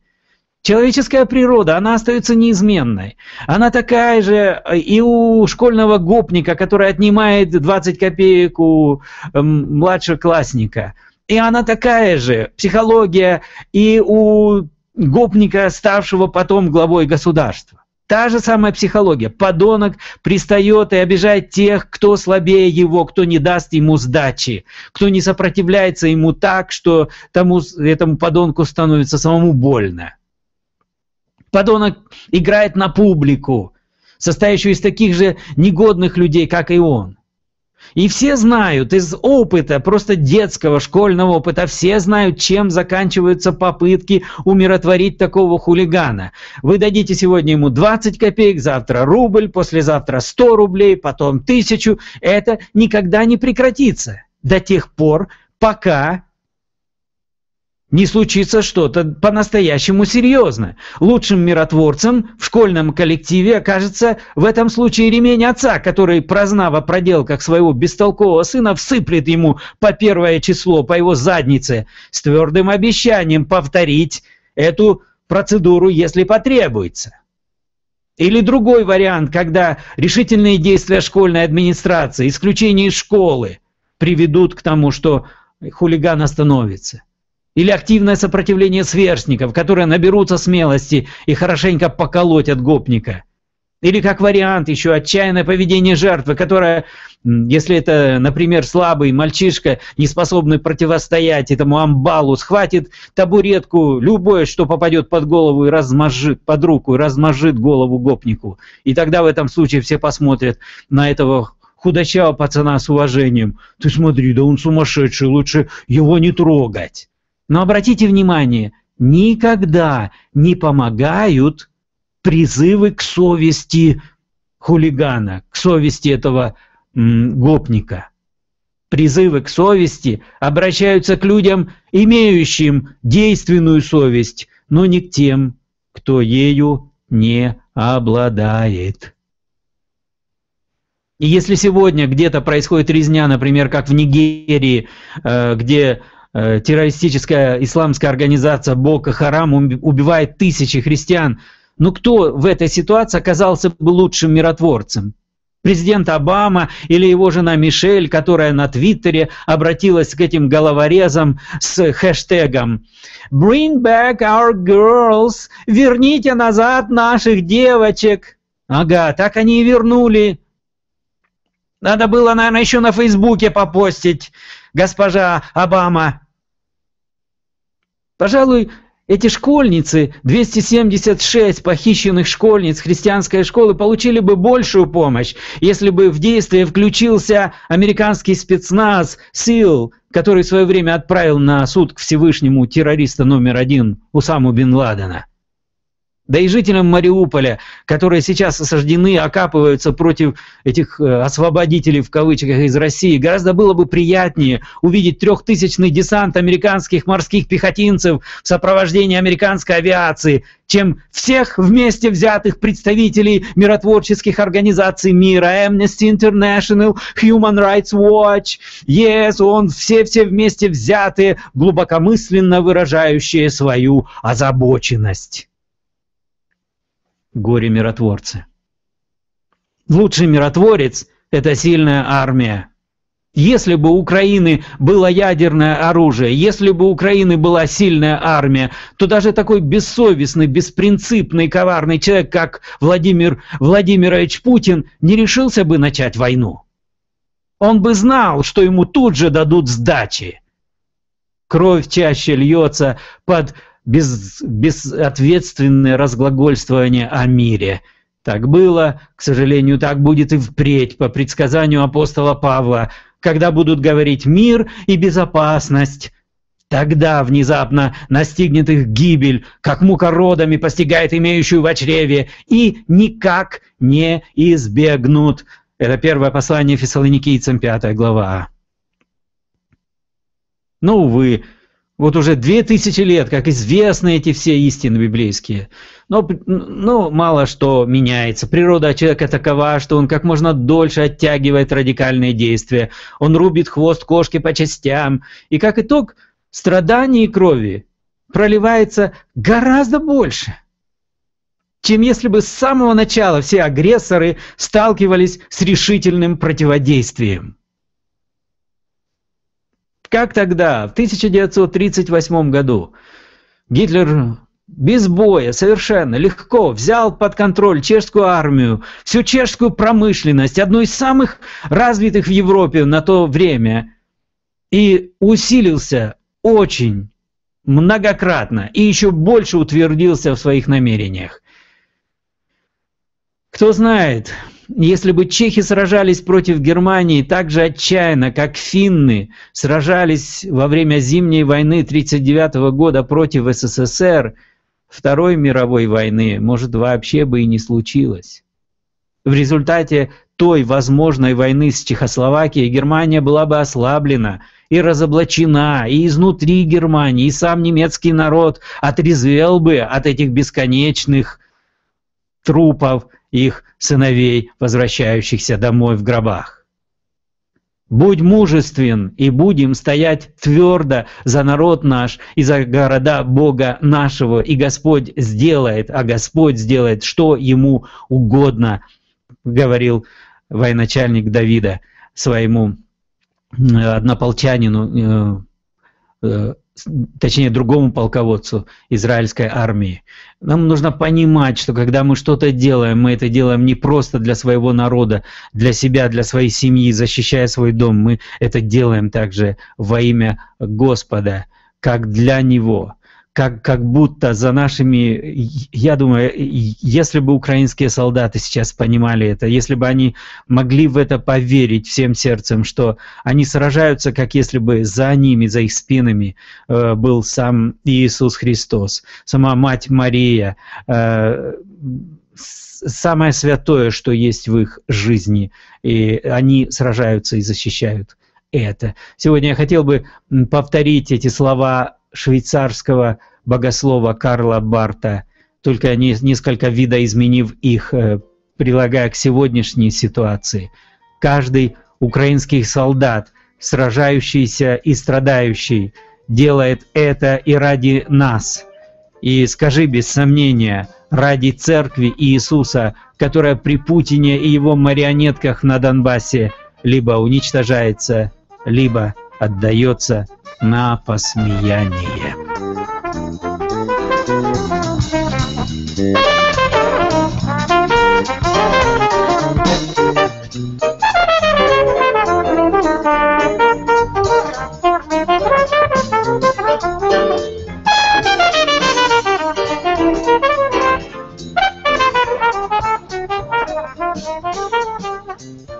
Вы слушаете программу «Нормальная жизнь христианина», э, программу Петра Новочехова. Э, я у микрофона сейчас. Завершить ее я хотел бы э, фрагментом из современной культуры Украины. Испытания часто действуют очищающие на душу человека и всего народа. А, книга Экклесиаста, 7 глава, говорит так, «При печали лица сердце делается лучше» несмотря на эту мучительную боль, которую испытывают сегодня украинцы многие, э, что-то происходит с их сердцами. Они очищаются, они как-то возвышаются. И вообще, когда человек жертвует собой, когда он э, рискует самым лучшим, что у себя есть, у, у него есть, э, отдает самого себя, ведь это то, что сделал Иисус Христос для нас с вами. Это уподобляет Его Христу. И это приближает его к вечности, к вечному Богу.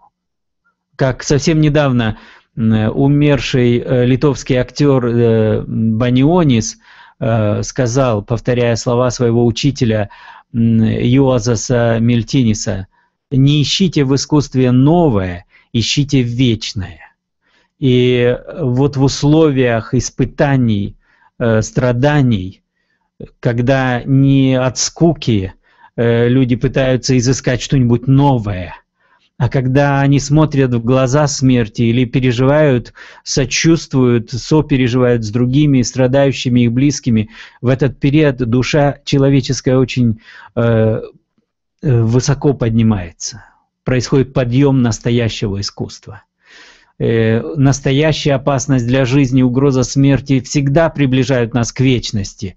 Наши чувства обостряются, мы понимаем, мы осознаем, насколько временно, насколько все незначительно в сравнении с вечностью. Мы понимаем, что мы стоим одной шагой в вечности. Слетает эта шелуха напускной религиозности, кажущейся добродетели – остаются настоящие. Нам трудно э, уже э, легко, нам не так просто легко разбрасываться словами э, высокопарными. Мы понимаем, что за этим что-то должно стоять весомое, серьезное. И действительно оно стоит. И слова приобретают другое значение. Потому что вечность, вот она, вот она на пороге. Э, ты не знаешь, когда прервется твоя жизнь. Это может произойти в любую минуту, и, и, и что-то меняется. Сильно меняется. Как никогда прежде человек ищет Бога, тянется к Нему, даже не осознавая этого. Это удивительно, что как когда-то Анатоль Франц сказал, случай – это псевдоним Бога, э, когда Бог не хотел оставить свою подпись. Э, и так бывает, что э, анонимно Бог, присутствуя в жизни людей, приближается к ним, и они приближаются к Нему, особенно в эти периоды, в эти в этих ситуациях чрезвычайных испытаний. Может, поэтому Иаков апостол убеждает нас не отчаиваться от испытаний, а скорее даже радоваться им, приветствовать их, потому что по природе, будучи существами заторможенными духовно, медлительными сердцем, как даже Христос сказал об апостолах, мы в обыденной жизни едва ли прикасаемся к вечному. Но вот в искушениях, в тяжелых обстоятельствах, э, вера, как пишет Иаков, наша, она, э, испытывая испытывается, она, она очищается, она как э, золото переплавляется и очищается от всех примесей. Э, наша вера становится зрелой, так что э, христианин в процессе испытаний достигает совершенства. И другого пути к совершенству нет. Другого пути приближения к Богу нет. Через испытания, через трудности. Люди, не испытавшие трудности, обычно до примитивизма поверхностны. Вы, вы, даже, вы даже не знаете э, где-то на, на чем остановить взгляд, потому что все скользит по поверхности. Нет глубины. Глубина открывается в долинах смерти. Они открывают источники, проходя долиною тени смертной, говорит автор одного из псалмов. Вот там открываются и источники настоящего искусства. Кстати, сейчас создается впечатление, что Украина переживает э, такой культурный подъем, э, ресан, рез, э, не, необычный ренессанс э, своей культуры, потому что нет напускного эти страсти, мордасти вокруг этих э, романтических любовных отношений, они, они уступили сейчас, они от, отошли на задний план. И на первое место вышли, вышли мысли, слова и чувства вечности. Э, мне хотелось э, на прощание э, включить песню Леси Тельнюк э, на слова Ирины Цилык «Повертайся живым» возвращайся, возвращайся живым. Это песня, это обращение к украинскому солдату, но в ней есть э, не просто призыв быть живым, знаете, в теле только вернуться, быть живым душой, быть очищенным э, в душой, быть измененным. Главное, ты возвращайся домой. И я прочитаю перевод с украинского, сделанный Ингой Рудич просто смысловой перевод. А, и снимай, наконец, запыленные берцы, а потом учись жить заново с перепрошитой в сердце верой. Ты, главное, возвращайся, преодолев стон чистого зла, и отпусти эту ненависть навсегда среди густой мирной тишины. Ты, главное, возвращайся той дорогой, которая сохранит твою душу и тело. Черная земля с расплавленным пахом только дождя, а не крови хотела. Ты, главное, возвращайся к маме. Где-то там, за горизонтом, тоскуют и дружат домами сидеющие матери, пахнущие нежностью и корвалолом. Ты, главное, возвращайся насовсем и роди, посади, построй, а уже в твоем ребенке курносом вырастет радость новая и правдивая. Нет, эта война не нужна никому. Да, мы ее не простим, а потому побеждай и возвращайся домой. Просто живым возвращайся, и все тут. Когда я слушал эту песню в первый раз, я сразу вспомнил слова Иисуса Христа в воскресенье, который говорил, что наш Бог не Бог мертвых, а живых. У Бога, Бога все живы, все умершие, они живы. Даже если какой-то солдат не возвратится в теле живым, он возвращается домой. Он возвращается в свой небесный дом, к своему небесному Отцу, который всегда ожидает нашего возвращения домой. Возвращайся, повертайся. Ти головне повертайся додому, врешті знімай запелюжені берці і вчися наново жити по тому з перепрошитою вірою в серці. Ти головне повертайся, здолавши чистого зла непрожований стогін, і відпускай цю ненависть назавше посеред мирної тиші густої. Ти повертайся, ти головне повертайся, ти головне повертайся живий. Ти повертайся, ти головне повертайся, ти головне повертайся живий. Ти головне, повертайся тим шляхом, що вбереже твою душу і тіло, чорна земля із розпеченим пахом, тільки дощу, а не крові хотіла. Ти головне, повертайся до мами, десь там сивіючи завидно колом. Матері дужать і дружать до мами, що пахнуть ніжністю та корвалолом. Ти повертайся, ти головне, повертайся, ти головне повертайся живий. Ти повертайся, головне, повертайся, головне, повертайся живий. Головне, повертайся назовсім і народи, посади споруди, а вже у твоєму дитиську корносім виросте радість нова і правдива. Ні, ця війна не потрібна нікому, так ми її не пробачимо. Себто перемагай і вертайся додому, просто живим, повертайся і все тут. Повертайся, ти головне, повертайся, живим. Вы слушали программу Петра Новочихова «Нормальная жизнь христианина». Спасибо, что вы были со мной. До свидания. До следующей встречи. И сохрани вас Бог.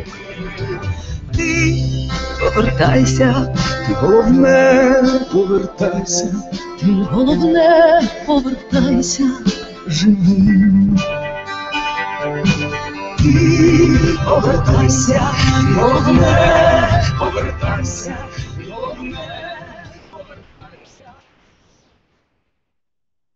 Уважаемые радиослушатели, напоминаем вам, что редакция Русского радио 7 не несет ответственности за содержание рекламных роликов и программ, которые звучат в эфире.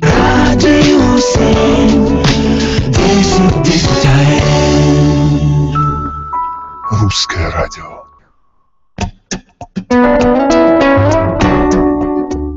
Русский мебельный магазин Venice Furniture предлагает широкий выбор мебели по самым низким ценам. Столы, раскладные диваны, матрасы, спальный гарнитур, кухонная мебель, столовая и роскошный зал. А также вы можете приобрести матрасы для трекистов. Магазин Venice Furniture расположен по адресу Павел и 122. Звоните 503 760 0800 503 760 0800. Магазин Venice Furniture.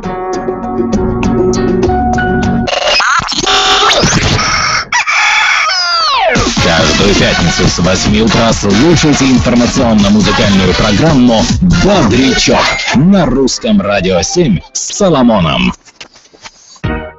Катя Катерина даст совет. На любой вопрос найдет ответ. Авария в машине.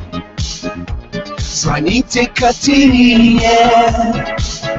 971 717 43 36. 971 717 43 36. Звоните Катерине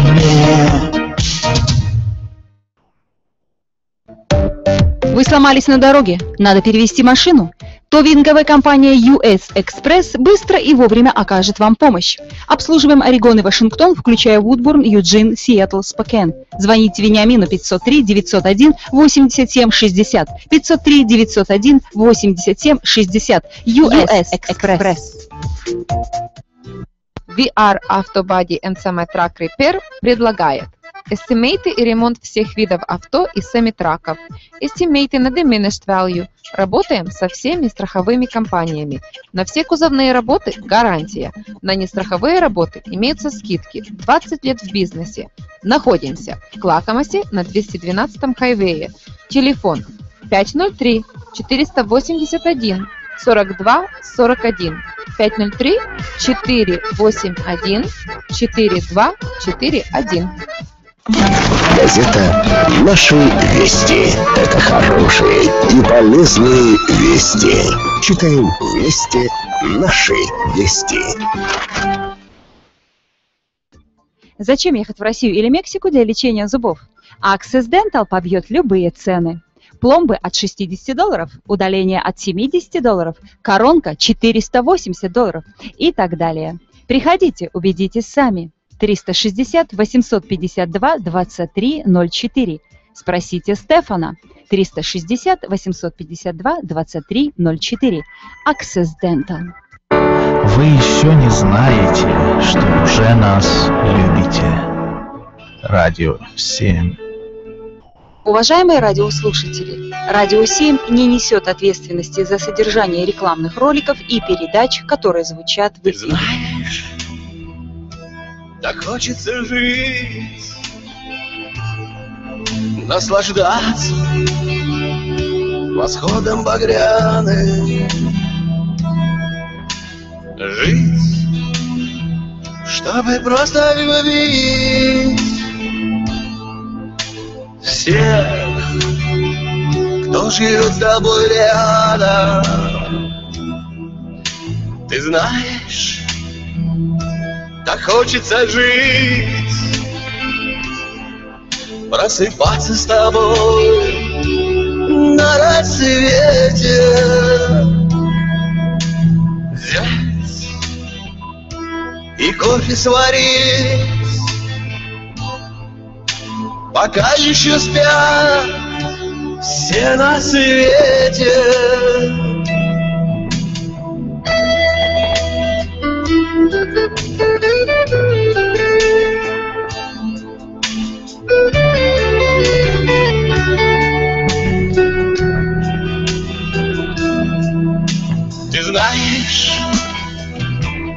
Хочется жить, как не напишут в газете. Взять и все раздарить. Жить, чтобы помнили дети. Ты знаешь, хочется жить в миг, когда тебя задавило. Встать и всем объявить, я вернусь, даже если прибило.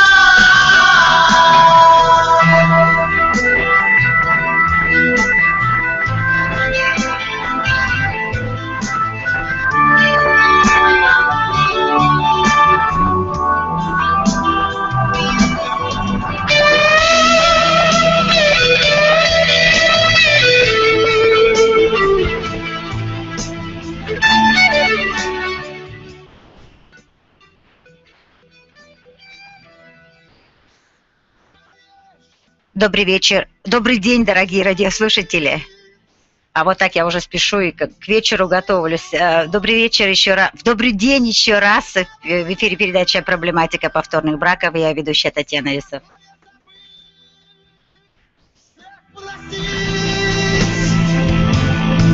Лишь прощение, спасение, я знаю. Ты знаешь, так хочется жить в зимнем саду спящей вишни,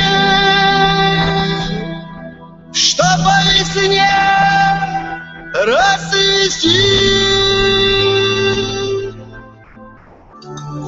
Дерево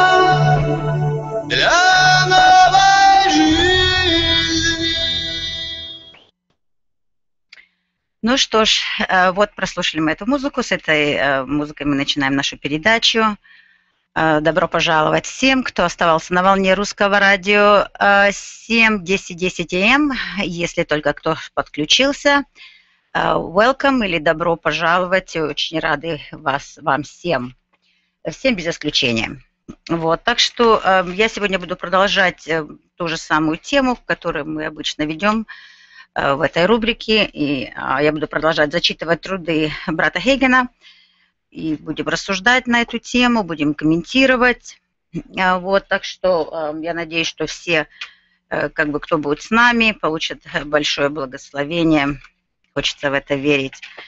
Вот, э, так что э, хочу объявить еще телефоны, по которым мы будем принимать звонки, когда откроется э, наша линия. Это телефон прямого эфира 503 238 9000. Еще раз, 203, 503 238 9000. Мой телефон, который я обычно оставляю, если людям, люди звонят по этому телефону после передачи, это 503-688-8757. Еще раз 503-688-8757. А, ну что ж, мои дорогие друзья, это у нас программа тематическая. Мы читаем здесь Слово Божие, рассуждаем и пытаемся как бы разобраться с, с этим вопросом на основании Слова Божьего. И поэтому, если кто желает э, вместе со мной исследовать этот вопрос, кому он не, ну, которым, которым людям это не безразлично, может кто-то проходит ситуацию такую в жизни, или еще или проходит, или уже прошел, возможно, или кто-то, может, из родных, близких проходит эту э, ситуацию такую, вот не, не из легких, я скажу. Э, поэтому я думаю, что это неплохое время и даже очень хорошее время порассуждать на эту тему в свете Слова Божьего и а, по, как бы поразмыслить а, на эту тему. Так что всех приветствую еще раз. И самое главное, конечно, что я сейчас хочу сделать вместе с вами, мои дорогие, это пригласить самого дорогого гостя, который, который у нас есть, э, называется, э, который, одно из имен его – это мудрость, это сам Господь, сам Иисус Христос, сам Творец, Создатель наш, Спаситель, Мессия наш, и очень много-много у него имен. Поэтому эм, я думаю, что мы сейчас сделаем это в первую очередь. Дорогой Господь, во имя Иисуса Христа, Сына Твоего, я прихожу сейчас к Тебе, Отец Небесный, и хочу, чтобы Ты присутствовал в этой передаче, благословил меня Твоей мудростью, Твоим Духом Святым, благословил всех слушающих, приготовил все сердца, каждое сердце, которое будет слушать, Господь, наполни каждого любовью, миром, Господь дорогой, и мудростью Твоей, и благословением Твоим. Пусть эта передача послужит для Твоей славы и для Церкви Твоей, Господь. Я прошу Тебя, Отец мой Небесный, во имя Иисуса Христа. Аминь. Аминь. Окей, мои дорогие друзья, я думаю, что эм, мы сделали самое главное, потому что Господь сказал, что без меня не можете делать ничего. Поэтому э, без Него мы не можем делать ничего, и поэтому мы сделали то, что мы должны были сделать. Я думаю, мы сделали это правильно.